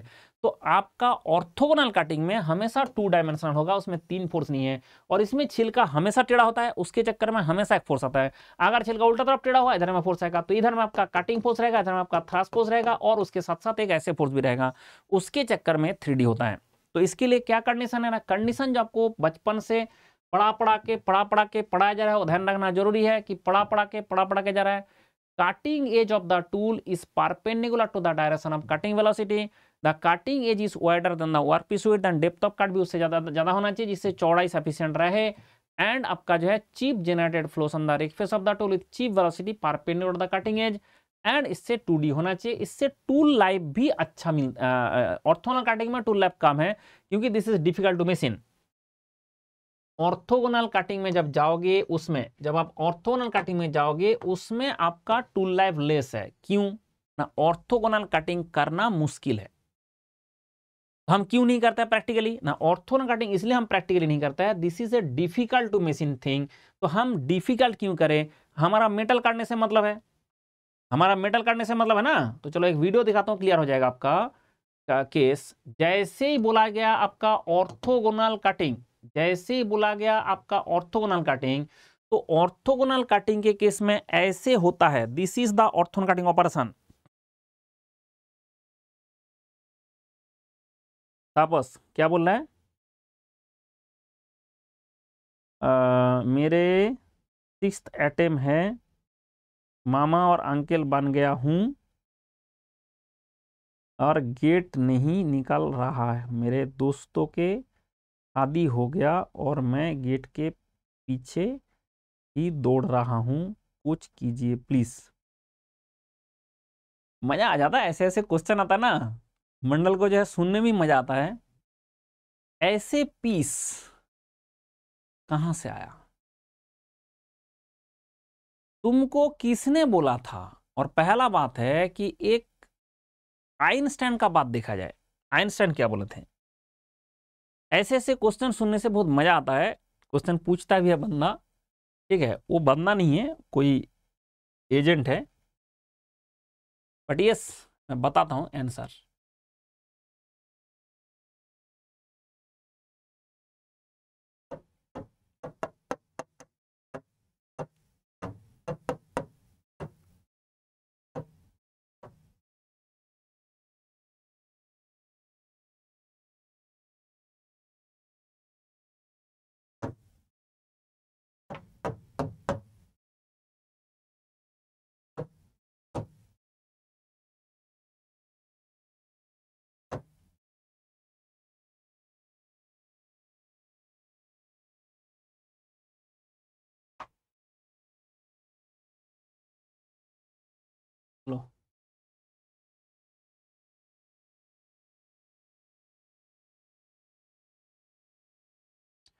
तो देखो, आइंस्टाइन क्या बोला? मेरा बात तो छोड़ दो। आप मेरा बात तो छोड़ दो, आइंस्टाइन ने क्या बोला? Insanity is doing the same thing over and over again and expecting different results it is this, i am not saying this. This is Albert Einstein तो insanity is doing the same thing over and over again and expecting different result तो एक बंदा चाचा बन गया, ताऊ बन गया, तुम दादाजी भी बन जाओगे। क्यों? ना अगर आप सेम थिंग रिपीट करते जा रहे हो और डिफरेंट रिज़ल्ट मांग रहे हो, नहीं आता है। इसलिए मंडल का थ्योरी क्या है? कि पहले आप पढ़ो, दूसरा बात को समझो। बंदा ने लिखा है, एजेंट है तो ढंग से लिख नहीं पाया कि गेट नहीं निकला। ठीक है? लिखा ना, गेट नहीं निकला मतलब गेट में थर्टी मार्क्स। अगर आपने छह साल पढ़ने के बाद भी नहीं ला पाए तो तुमको क्या करना चाहिए? थर्टी मार्क्स, गेट नहीं निकला, इसका मतलब है थर्टी, ट्वेंटी सिक्स भी था। ट्वेंटी सिक्स से थर्टी मार्क्स के बीच में आउट ऑफ़ हंड्रेड जो बंदा नहीं ला पाया, चार साल, छह साल प्रिपरेशन करके तो वो बंदा का क्या स्थिति है? भाई, तुम गलत चीज़ में फंसे हुए हो। तुमको इंजीनियरिंग पढ़ने का इच्छा ही नहीं है। माँ बाप ने ज़बरदस्ती धकेल के तुमको इंजीनियरिंग में घुसा दिया। अब क्या हुआ? मैं पढ़ूँगा ही नहीं। तो रिज़ल्ट कहाँ से आएगा? हंड्रेड में thirty marks, twenty eight marks, twenty nine marks जो नहीं ला पाया, छः साल पढ़ के तो उसको क्या बोलोगे? तो इसलिए वो एजेंट है और ढंग से लिख नहीं पाया कि मंडल के पास जो है आंसर आ जाएगा। मंडल के पास उसका क्या उत्तर निकाल देगा कि भाई तुमने गेट नहीं निकला बोला ना? गेट नहीं निकला। तो गेट नहीं निकला मतलब क्या है? मतलब तुमको तीस मार्क्स नहीं आया। तो थर्टी मार्क्स तुम नहीं ला पाए। इसके मतलब क्या हो गया कि तुमको इस फ़ील्ड में ना रह के अभी क्या करना चाहिए? ओला, उबेर का गाड़ी चलाना चाहिए। ठीक है? आपको ओला, उबेर का गाड़ी चलाना चाहिए। जो बंदा छः साल से पढ़ता रहा और उसको थर्टी मार्क्स लाने का कैपेबिलिटी नहीं डेवलप नहीं हुआ उसका। ठीक है? कोई ऐसा भी बंदा है मेरे पास कि पहला साल में उसका गेट क्वालिफाई नहीं हुआ और दूसरा साल में जाके वो आउट ऑफ़ हंड्रेड का अंदर अंक लेकर गया। क्यों हुआ? ना that is that is Einstein तो क्या होता है? इनसेनिटी से नहीं चलेगा। आप अगर अपना मेथड चेंज करोगे तो आपने आप रिज़ल्ट आएगा। लेकिन आप बोलोगे, मैं सेम चीज़ करूँगा जो पिछले साल जो करके मेरा फेलियर हुआ था, मैं वही चीज़ दोबारा रिपीट करूँगा तो दोबारा फेलियर होगा। ठीक है, ये मैं नहीं बोल रहा हूँ, ये आपका आइंस्टाइन बोल रहे हैं कि दोबारा फेलियर होगा। इसलिए हमेशा हम बोलते हैं कि आप हमेशा सोचे गेट एग्ज़ाम में करना क्या है। ना गेट एग्ज़ाम में जाके क्वेश्चन सॉल्व करना है।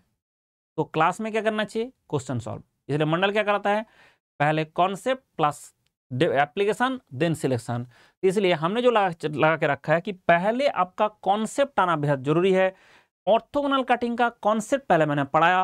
आप जाके हमें जाना पड़ेगा ऑर्थोन कटिंग का जब कॉन्सेप्ट क्लियर हो गया, आप जाके आप क्वेश्चन सॉल्व करें। अगर अपने कॉन्सेप्ट को अप्लाई नहीं करेंगे तो ज़िंदगी में कोई क्वेश्चन सॉल्व होगा नहीं। और क्वेश्चन जब सॉल्व नहीं होगा, आपको ज़िंदगी में कोई कॉम्पिटेटिव नहीं निकलेगा। ये भी ध्यान रखें। क्वेश्चन सॉल्व करना बहुत ज़रूरी है। कुछ लोग सिर्फ़ कॉन्सेप्ट बनाता जा रहा है नोट बनाता जा रहा है नोट उसका शॉर्ट नोट उसका चाटता जा रहा है, ठीक है? और उसके बाद वो नोट को फिर ऑनलाइन में कुछ लोग दे भी रहा है। ठीक है, वो ज़िंदगी में खुद से तो कुछ नहीं कर पाया, फिर उसका नोट चट के दूसरा बंदा का क्या हाल होगा? इसलिए concept plus application equal to selection तो मैंने कॉन्सेप्ट होगा ऑर्थोन कटिंग का बताओ application consider the following characteristics the characteristics applicable to orthogonal cutting इसमें जो अभी आपने पढ़ा, पाँच कंडीशन चार था, पाँच एक टू लैब का भी बात किया।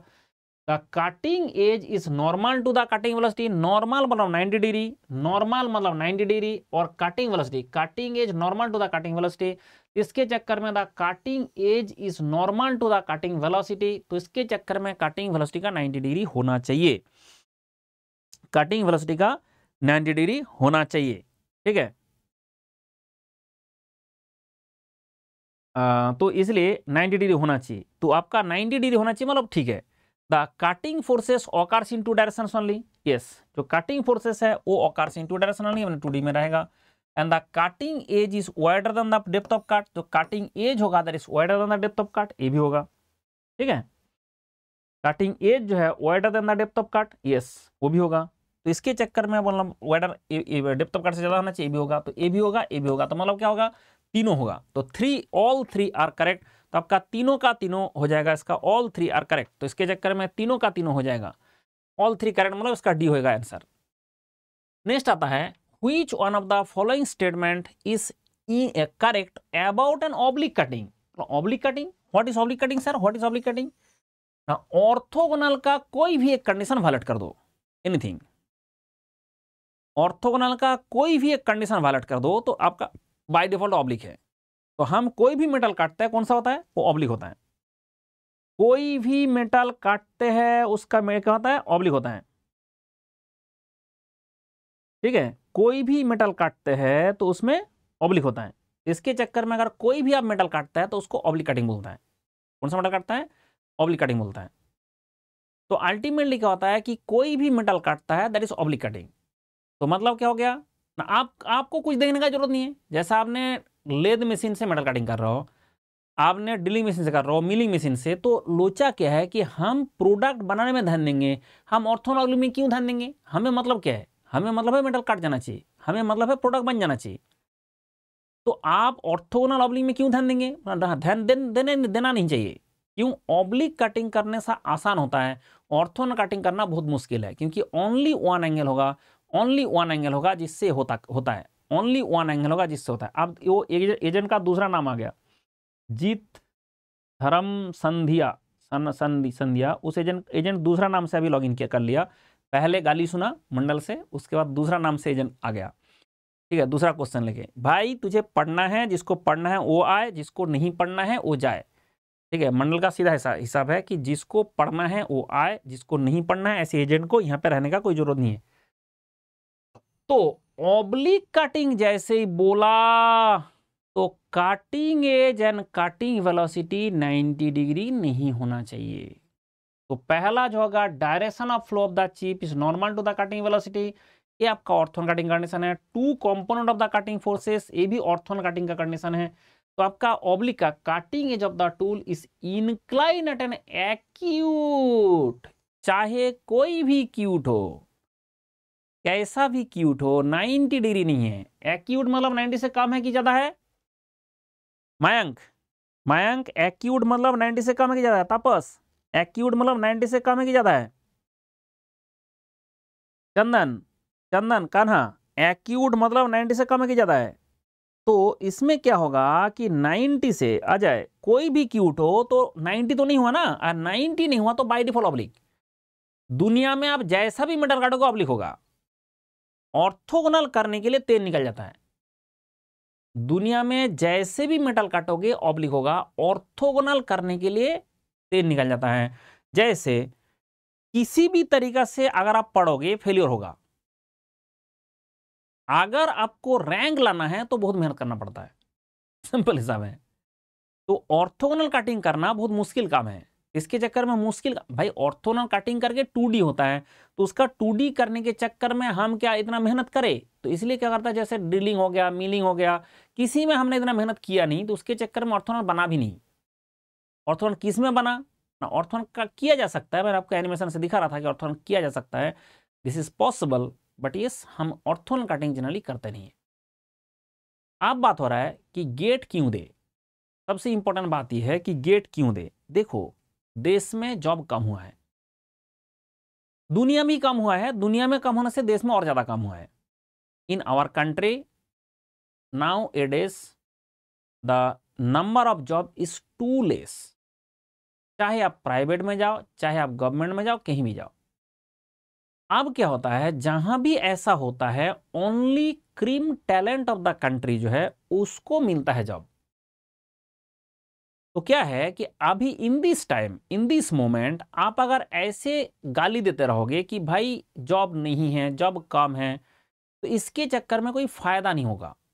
क्योंकि आप गाली तो देते रहोगे बट आपका एम्प्लॉय एबिलिटी नहीं बढ़ेगा। जब आपने मैकेनिकल इंजीनियरिंग पढ़ा तो गेट एग्ज़ाम देने के लिए मैकेनिकल इंजीनियरिंग छोड़ के आपको क्या पढ़ना पड़ रहा है बताइए मुझे। अगर आपने मैकेनिकल इंजीनियर हो, अगर आपने सिविल इंजीनियर हो तो गेट देने के लिए आपको सिविल छोड़ के और क्या पढ़ना पड़ रहा है? तो आपको वही पढ़ना पड़ रहा है जिसमें आपको कमांड होना चाहिए। आप चार साल से इंजीनियरिंग में बोलोगे, मैं कुछ नहीं पढ़ूँगा। जैसे मुझे दो बंदा सुबह मैसेज किया कि मुझे कुछ भी जॉब दे दो। ठीक है? मैंने बोला, मेरा एक जॉब है, मेरा काम है, करो। नहीं करूँगा। अब क्या है कि सिर्फ़ ये चाहते हैं कि मुझे नौकरी दे दो बट उस नौकरी में जाके मैं कुछ नहीं करूँगा तो तुमको कौन नौकरी देगा? जो कंपनी का जो काम है, उसमें मैकेनिकल इंजीनियर को कहाँ लेगा? जहाँ पे मैकेनिकल का काम है। आप मैकेनिकल का काम, मुझे मैकेनिकल का एम भी नहीं आता, मैकेनिकल का एक फॉर्मूला भी नहीं आता है। आप तुमको कौन जॉब देगा? अगर सॉफ्टवेयर में भी जाओगे सॉफ्टवेयर में जाने के बाद भी मैकेनिकल वाले को उसी डिपार्टमेंट में दिया जाता है जो सॉफ्टवेयर बन रहा है मैकेनिकल रिलेटेड। अब आपको मैकेनिकल का कुछ भी नहीं आता, आप क्या बना दोगे? जैसे पावर प्लांट का सॉफ्टवेयर बनता है। हमने पावर प्लांट में काम कर रहे थे, सॉफ्टवेयर बनता है तो सॉफ्टवेयर बनता है, इसका पूरा टीम आया था हमारे पास। अब टीम जब आया तो वो जो टीम है, उसमें सॉफ्टवेयर, वो लोग सॉफ्टवेयर ही बनाता है। लेकिन किसके लिए बना रहा है? पावर प्लांट को चलाने के लिए। अब पावर प्लांट में कौन सा टर्बाइन है? कैसे घूमता है वो उसको पता नहीं। वो क्या बना देगा उसका सॉफ्टवेयर? तो आप अगर सॉफ्टवेयर में भी जाओगे तब भी आपको मैकेनिकल का ही टेस्ट लिया जाएगा। इसलिए सॉफ्टवेयर जो बनाया जाता है वो नहीं कि हमेशा सॉफ्टवेयर आपका आ, जो आपको जो सॉफ्टवेयर में जो काम दिया जाएगा वो ऐसे कुछ भी फालतू काम। उसमें भी जो मैकेनिकल रिलेटेड है उसमें मैकेनिकल को दिया जाता है।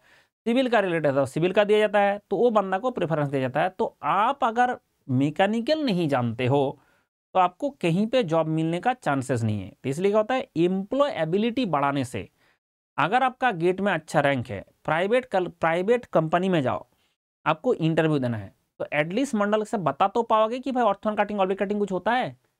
Lathe is not a machine ये तो बता पाओगे ना, अभी तब से आपको लेद तो मशीन ही लगता है lathe machine lathe machine but lathe is not a machine तो ये आपका प्राइवेट का इंटरव्यू का क्वेश्चन है तो ये सब क्वेश्चन का आंसर कहाँ से दोगे बेटा? इसके लिए पढ़ना है।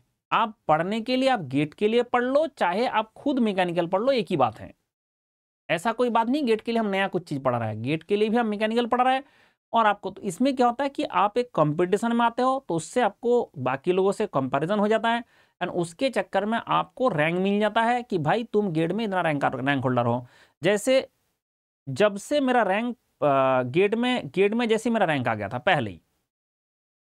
उसके बाद से मैं जहाँ भी गया, कोई भी ये बात नहीं बताया कि भाई तुमको मैकेनिकल नहीं आता है। जैसे मुझे मुझे भी जॉब मिलने में टाइम लगा, क्यों? लादेन ने एट एरोप्लेन ले जाकर घुसा दिया था वर्ल्ड ट्रेड सेंटर में।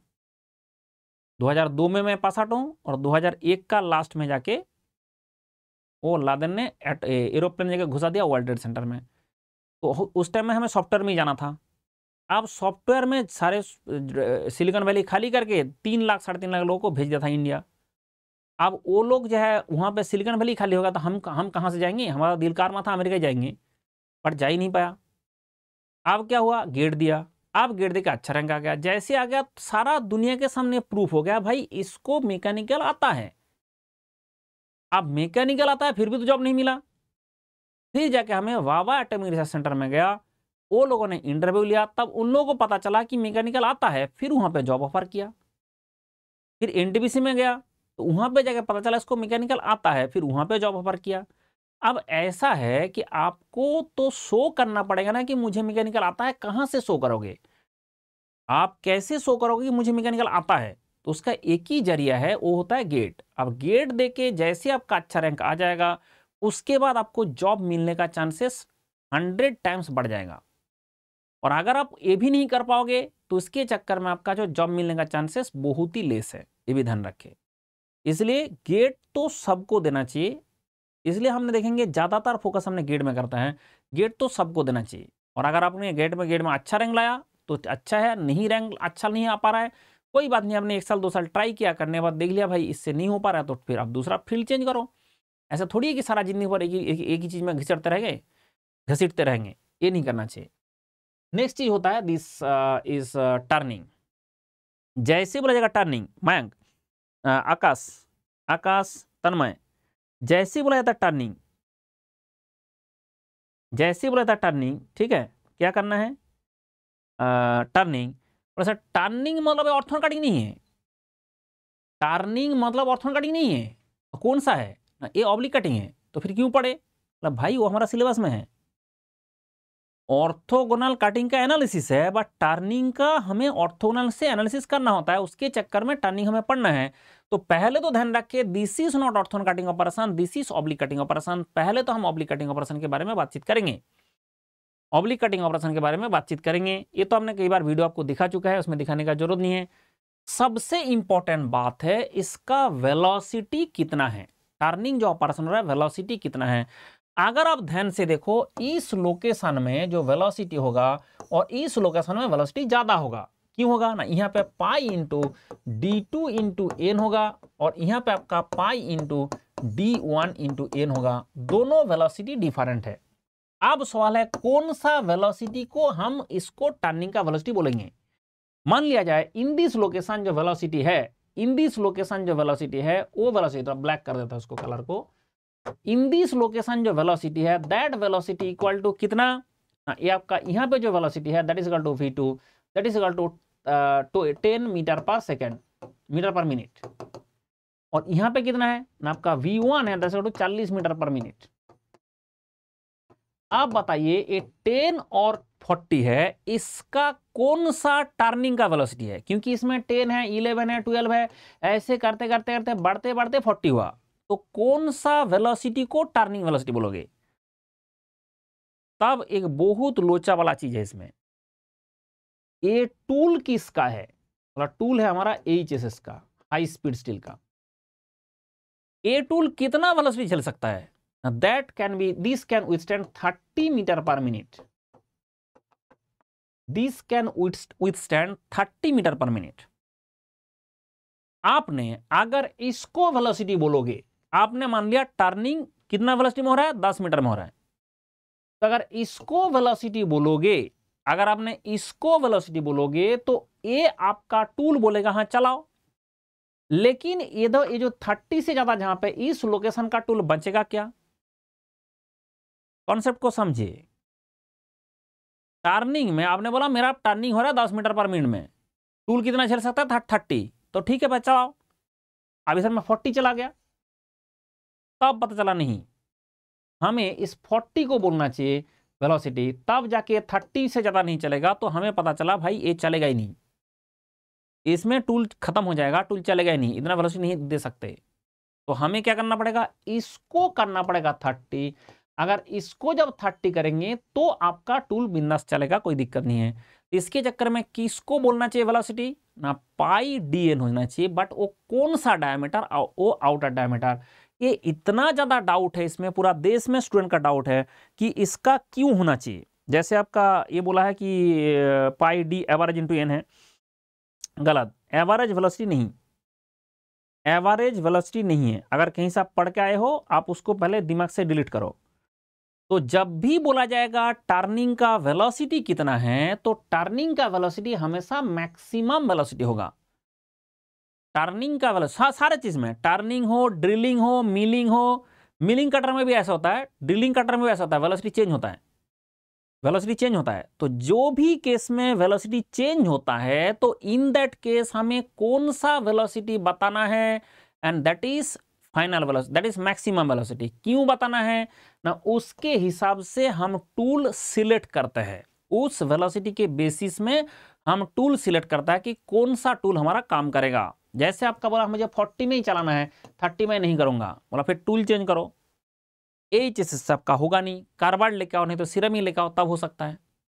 तो मतलब टूल सिलेक्शन आपका उस वेलोसिटी के बेसिस में होता है। उसके चक्कर में प्रैक्टिकली सोचिए कि आपका वेलोसिटी मैक्स होना चाहिए। तो इसके चक्कर में यहाँ पे जो लिखा है वेलोसिटी यहाँ पे जो लिखा है फॉर्मूला वेलोसिटी का, वो फॉर्मूला यहाँ पे जो लिखा होगा वेलोसिटी फॉर्मूला का ए फॉर्मूला में ये डी कौन सा है? ए डी हमेशा डी वन होता है। जैसे वेलोसिटी लिखा है, इसका डी कौन सा होता है? हमेशा डी वन होता है। इसमें डी हमेशा डी वन होता है। तो अगर बोला जाए टर्निंग का स्पीड कितना है? What is the speed of turning तो बोलोगे pi D N pi D N by sixty, pi D N में thousand, pi D N by sixty thousand में होता है। कैसे?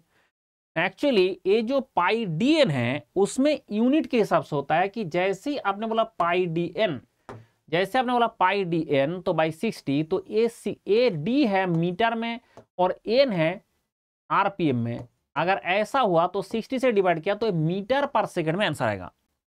अगर आपका डी का यूनिट मीटर है और एन आपका आरपीएम में है तो इसके चक्कर में इसका यूनिट मीटर पर मिनट में आएगा। अब डी का यूनिट आपने मिलीमीटर कर दिया, देखो लोचा देखो, इसको मिलीमीटर कर दिया, इधर में मीटर आप मांग रहे हो। इन दैट केस आपका एन तो आरपीएम में रहेगा तो थाउज़ेंड से क्यों डिवाइड किया बेटा? क्यों डिवाइड किया ना? डी मिलीमीटर में पुट करके हज़ार से डिवाइड कर दिया बाई मीटर हो गया। इस डी को मिलीमीटर में पुट करके हज़ार से डिवाइड कर दिया बाई डिफ़ॉल्ट मीटर हो गया। तो इसके चक्कर में pi D N by six कभी कभी ऐसे लिखा रहेगा that is to pi D N divided by sixty thousand ये आ जाएगा मीटर पर सेकेंड। अब इस डी को पुट करो किसमें? मिलीमीटर। इस मिलीमीटर को मीटर करने के चक्कर में हज़ार से डिवाइड करना पड़ा। और ये जो एन है, ये आरपीएम है तो आरपीएम को, मीटर को, मिनट को सेकंड करने के लिए 60 से और डिवाइड करना पड़ा। तब जाके इसका आंसर आएगा मीटर पर सेकंड में। इसलिए ये चार फॉर्मूला मैंने बता रखा हूँ, ये चार फॉर्मूला यूज़ करना पड़ता है। गेट पीआई के लिए क्या एक्स्ट्रा पढ़ना पड़ेगा गुरुजी? प्लीज़ बता दो। जो मैंने पढ़ाता हूँ, उसी में पीआई भी कवर हो रहा है। ठीक है, नाइन्टी परसेंट इसमें पीआई कवर हो जाएगा।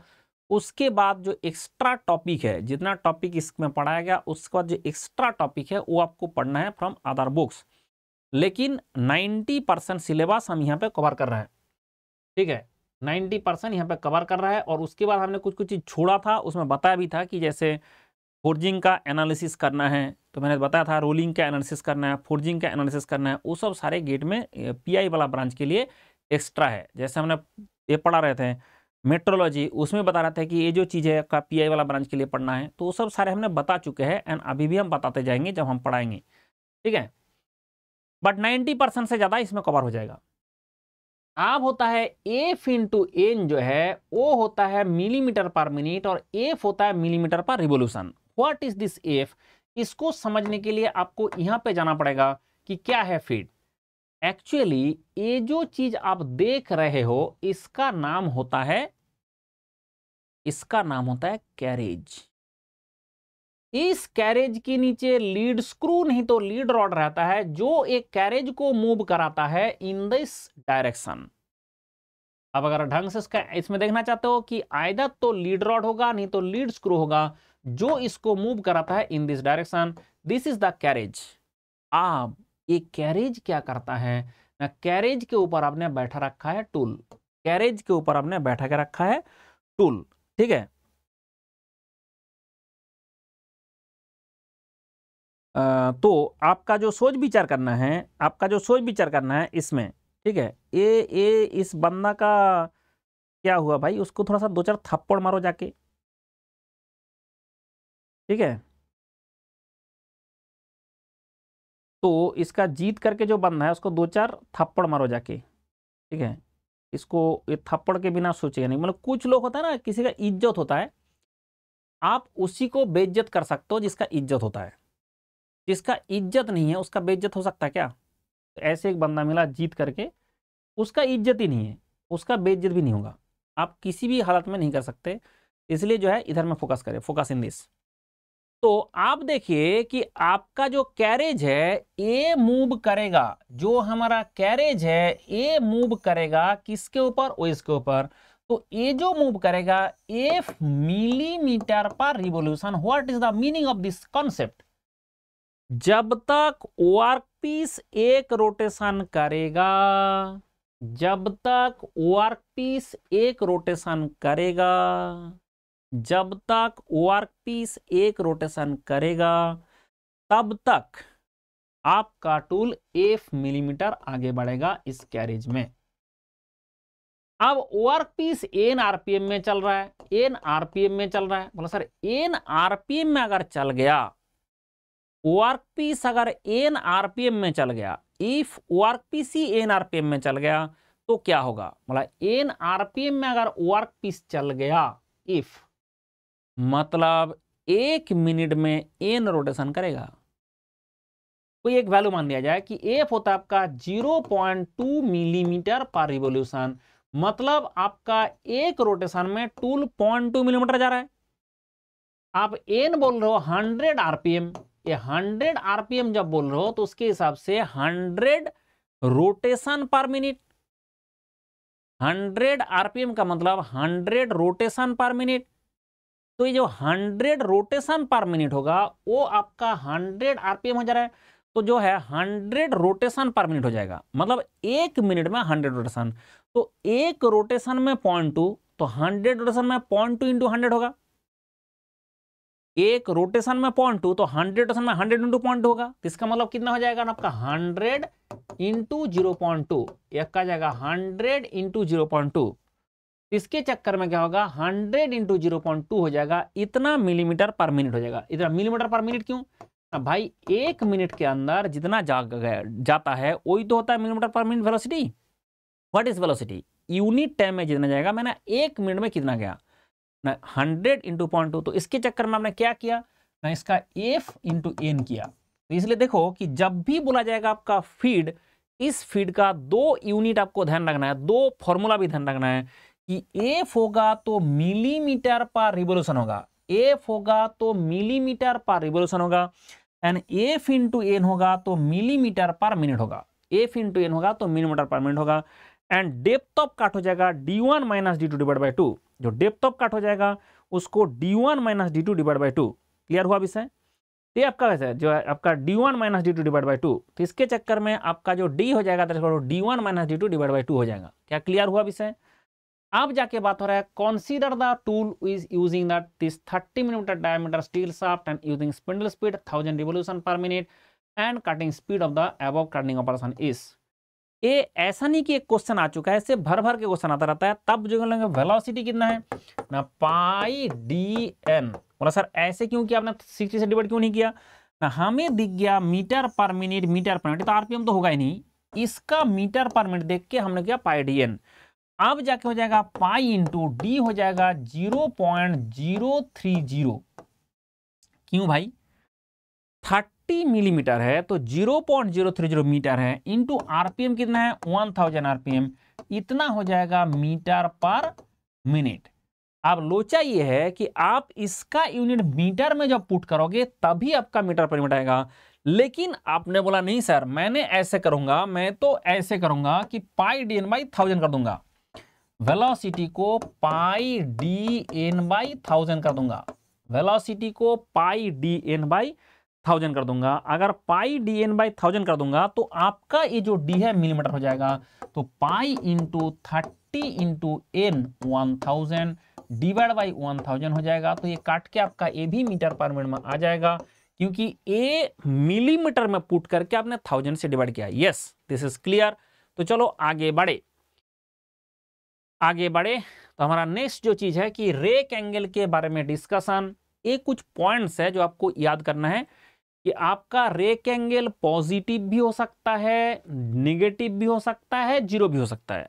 ये अगर पॉजिटिव रेक एंगल है, ऐसे करके देखो, ये आपका पॉजिटिव रेक एंगल है एंड आपका निगेटिव रेक एंगल है तो ऐसे करके देखो आपका पॉजिटिव रेक एंगल है, ऐसे करके देखो आपका निगेटिव रेक एंगल है एंड ऐसे करके देखो आपका zero alpha equal to zero. तो rake angle can be positive it can be negative और it can be zero it can be positive it can be negative it can be zero है, पहले, पहला वाला जो क्वेश्चन था, उसका answer C था। यस इसका आंसर सी है and ninety four point two आएगा आंसर मैंने आंसर देना भूल गया था। अब जाके बोला, सर पॉजिटिव ब्रेक में क्या होता है ना, ये कटिंग फोर्स कम करता है कटिंग पावर कम करता है। पॉजिटिव ब्रेक होने के लिए पाँच पॉइंट है machining low strain material low power machine low shirt machine setup cost ये होना चाहिए। एंड उसके बाद आता है नेगेटिव ब्रेक होना चाहिए increase cutting edge increase to life and increase the cutting force required high cutting speed and require ample amount of power उसमें हेवी इंपैक्ट लोड भी आएगा। कब रिकमेंड करें? हाई स्ट्रेन मेटल को मेटल कटिंग करने के लिए machining high high speed turning high speed cutting में होता है। एंड रिजिड सेटअप उसमें होना चाहिए। ये सब सारे भर भर के क्वेश्चन आया है, आता है, आएगा। अब आता है आपका ज़ीरो रेक जैसे ये क्वेश्चन है दिस इज़ एक क्वेश्चन गेट का ही है। बताओ। आंसर बताओ। ये सारे चीज़ हमने पहले पढ़ा चुके हैं इसलिए यहाँ पे जस्ट एक बार एक्सप्लेन कर दिया। आ, एक बार एक्सप्लेन कर दिया। रजन रजन देखो brittle materials are machined with tool having zero और negative rake angle because brittle materials जो है brittle materials are machined with zero देखो ब्रिटिल जो मटेरियल है यहाँ पे वर्क पीस का बात कर रहे हैं। अगर वर्क पीस ब्रिटल है अगर वर्क पीस ब्रिटल है if work piece is brittle तो उसको काटना बहुत मुश्किल होता है, हार्ड होता है मेटल। अब काटे तो आपका टूल का अगर लीप एंगल दुबला पतला है, पॉजिटिव रेक का टूल ऐसे दुबला पतला होता है, ज़ीरो रेक का टूल फिर भी ठीक ठाक होता है, और नेगेटिव रेक का टूल सबसे तगड़ा होता है तो इसके चक्कर में पॉजिटिव रेक का टूल से काटने गया तो पॉजिटिव रेक का टूल से काटने गया और वो टू वर्क पीस है बहुत ही स्ट्रांग क्या काट पाओगे? यानी ये जो दुबला पतला टूल के चक्कर में नहीं काट पाएगा। तो क्या होना चाहिए? ज़ीरो एंड नेगेटिव रेक देना चाहिए। क्यों चाहिए? ना इसके लिए provide adequate strength to the cutting edge तो इसका आंसर हो जाएगा सी एडिक्वेट स्ट्रेंथ होना चाहिए, इसका आंसर हो जाना चाहिए C yes everyone C tool टूट जाएगा इसके चक्कर में। इंपैक्ट लोड भी आएगा, वो भी ध्यान रखना है। इंपैक्ट लोड के साथ साथ मेन है इसका हार्डनेस ज़्यादा है। उसके चक्कर में ये जो दुबला पतला टूल है, वो नहीं काट सकता। तो ब्रिटिल मेटेरियल को काटने के लिए भाई आप जैसे बोला ज़ीरो रेक एक कभी भी देना नहीं होता है, ज़ीरो रेक खुद ही बना होता है। इसके लिए हम जब इसमें फॉर्म टूल मतलब पर्टिकुलर शेप का टूल बनाता है, उसमें हम यूज़ करता है ज़ीरो रेक इंक्रीज करता है टूल स्ट्रिंग एवर्ड करता है digging of the cutting tool and brass को टर्न करता है। ब्रास एंड कास्ट आयरन दोनों है, ध्यान रखना होता है याद कि ब्रास जैसे बोलेगा ज़ीरो रेक होगा कास्ट आयरन जैसे बोलेगा वो ज़ीरो रेक होगा। बस, इतना ही बात है। अब जाके हम बोलेंगे कि इसमें थोड़ा क्विक रिविजन है तो क्विक रिविजन का बात है, जैसे for cutting of the brass जहाँ देखा ब्रास वहाँ पे कौन सा रेक होगा? ना, उसके आंसर होगा zero rake actually minus five to plus five होता है। माइनस फाइव से प्लस फाइव ये आपका रेंज है ब्रास का, लेकिन आप स्टैंडर्ड डेटा पूछा जाए तो आपका ज़ीरो होगा। ठीक है? Single point thread cutting tool, जैसे बोला थ्रेड कटिंग, उसमें एक पर्टिकुलर शेप का टूल होता है। अगर एक पर्टिकुलर शेप का टूल है, उसके चक्कर में हमें ज़ीरो रेक देना पड़ेगा। इसमें जब सिंगल पॉइंट कटिंग करेंगे तो उसका ज़ीरो रेक देना पड़ेगा। तो यहाँ तक हम लोगों ने बहुत सोच विचार किया and basics of metal cutting हमारा खत्म हो गया। तो अभी हम जो सोच रहे हैं कि यहाँ पे आधा अधूरा शुरू ना करके यहाँ से काल शुरू करेंगे। फ्रॉम टूमोरो हम शुरू करेंगे सेम टाइम रहेगा अभी जब चलेगा तब तक सेम टाइम रहेगा टाइम मतलब शुरुआत सेम रहेगा। अब खत्म कब होगा? ना जब टॉपिक खत्म होगा। जैसे हमारा बेसिक्स ऑफ़ मेटल कटिंग खत्म हुआ तो हमने यहाँ पे ख़त्म कर रहे हैं। एंड uh, जैसे ही इसके बाद होगा ठीक है? जैसे इसके बाद होगा ये बोल रहा है कैलकुलेटर में बहुत गलतियाँ करता हूँ। कैलकुलेटर का एक सीरीज़ है। कैलकुलेटर का एक सीरीज़ है मंडल का। वो कैलकुलेटर का सीरीज़ यूज़ करो। सीरीज़ मतलब है नंबर्स ऑफ़ वीडियो है twenty three twenty four video है उसमें, वो आप यूज़ करो, हो जाएगा प्रॉब्लम सॉल्व जिसका भी कैलकुलेटर में गलती हो रहा है तो उसके लिए कैलकुलेटर का मिस्टेक सीखना करेक्टनेस सीखना है। उसके लिए कैलकुलेटर का मेरे पास एक लंबा सा चौड़ा, मैंने वीडियो बना के यूट्यूब में दे के रखा हूँ बट उसके लिए स्प्रेडशीट है। तो मंडल स्प्रेडशीट यूज़ करें एंड मंडल स्प्रेडशीट से आपको वो आ जाएगा, ठीक है? मंडल स्प्रेडशीट यूज़ करें। Preparing for UPSC and private MNC में age twenty three please guide देखो, ये सुदीप चक्रवर्ती, आपका एज 27 हो 28 हो दैट डजेंट मैटर मैटर ये होता है कि आपको कितना बर्निंग डिज़ायर है। नहीं तो ऐसा भी होता है कि आपने 20 साल में भी शुरू किया और कुछ नहीं हो पाएगा, ऐसा भी हो सकता है। और सत्ताईस में शुरू किया, अट्ठाईस में आपने नौकरी कर ले लिया तो कोई दिक्कत नहीं है। तो ये आपका बर्निंग डिज़ायर कितना है, उसके ऊपर डिपेंड करता है। बट अगर ऐसी है कि मैं बाई द वे कर रहा हूँ तो मत करो। ठीक है? अगर आपने बोला कि मुझे बर्निंग डिज़ायर है तो दुनिया में हर चीज़ हो सकता है। ठीक है? आमिर खान अभी शादी करने जा रहा है। Fifty four years of age बाकी जो फिफ्टी फोर ईयर्स का है, उसको पूछो, वो बोलता है, मैं तो बुढ़ा हो चुका हूँ। अब तो मुझे जो है, सिर्फ़ क्या करना चाहिए? ना वो दोनों हाथ में माला लेके जपना चाहिए, मेरे से तो कुछ हो नहीं पाएगा। अब आमिर खान 54 ईयर्स में जाके जो शादी कर रहा है, उसका एज 28 ईयर्स का। तो ये जो चीज़ है, अपना अगर दम हो तो आप करो, नहीं दम हो तो एज से कोई फ़र्क नहीं पड़ता है। कोई एज वाला मैटर से कोई फ़र्क नहीं पड़ता है। तो उसके चक्कर में अगर आपका दम है तो सत्ताईस में भी हो जाएगा। अगर नहीं है तो आपने सत्ताईस में क्या अट्ठाईस बोला, मैं तो ऐसे ही कर रहा हूँ बाई डिफ़ॉल्ट आया हूँ, देखता हूँ, होता है, नहीं होता है तो फालतू तो क्यों टाइम वेस्ट करो तब मत करो। और अगर आपका बर्निंग डिज़ायर कि मैं करके छोड़ूँगा तो आपका सत्ताईस में भी हो जाएगा, अट्ठाईस में हो जाएगा, जिस एज में एंट्री करोगे हो जाएगा। ठीक है? क्योंकि पूरा मैकेनिकल इंजीनियरिंग हम छः सात महीने में पढ़ा देते हैं। और उसके बाद आपका अन अकेडमी का अगर सब्सक्रिप्शन लोगे तो उसमें आपको सब कुछ फ्री में मिल जाएगा। सब कुछ आपको एक साथ मिल जाएगा। सिर्फ़ आपको खुद करते करते रहना है। दिन, रात आपको ऐसा नहीं होता कि हमारे पास क्लास जब होगा तब आना है। आपको जब टाइम मिलेगा तब आप पढ़ सकते हो। जिस टाइम आपको पढ़ने का इच्छा रात को बारह बजे पढ़ने का इच्छा रात को बारह बजे पढ़ सकते हो। तो ये चीज़ जो है अभी पॉसिबल है। तो इसके चक्कर में आपके लिए कोई दिक्कत नहीं है। लेकिन ये बर्निंग डिज़ायर जिसका है, वही कर सकता है। नहीं तो कुछ नहीं हो पाएगा। लोग 54 में भी शादी कर कर रहा है, वो भी 28 साल का लड़की से, और जाके कुछ लोग जो 28 साल में शादी कर रहा है, उसके बाद भी कुछ नहीं कर पा रहा है, वो आपका दम के ऊपर है। ठीक है? कास्टिंग पावर सारे। Casting payment answer answer is not in the Mandal drive देखो, निर्मल रंजन, निर्मल, तुम जहाँ पे पोस्ट कर रहे हो ना, यहाँ पे सिक्सटी थाउज़ेंड स्टूडेंट का स्टूडेंट को मैंने मटेरियल दे चुका हूँ। मंडल से अगर मटेरियल लेना है, उसका स्टैंडर्ड जुगाड़ है कि मंडल को व्हाट्सएप में मैसेज भेजना है कि मुझे स्टडी मटेरियल चाहिए। फिर आपको स्टडी मटेरियल जो मेरे पास अपडेटेड होता है, वो मिलता है। और नहीं तो पुराना मिलेगा। अब पुराना वाला कास्टिंग वाले में आंसर नहीं था। अब नया वाला कास्टिंग में आंसर है। अब जितना बंदा यहाँ पे बैठा हुआ है, सारे को पता है कि भाई कास्टिंग में, इसमें सारे में आंसर मंडल दे दिया।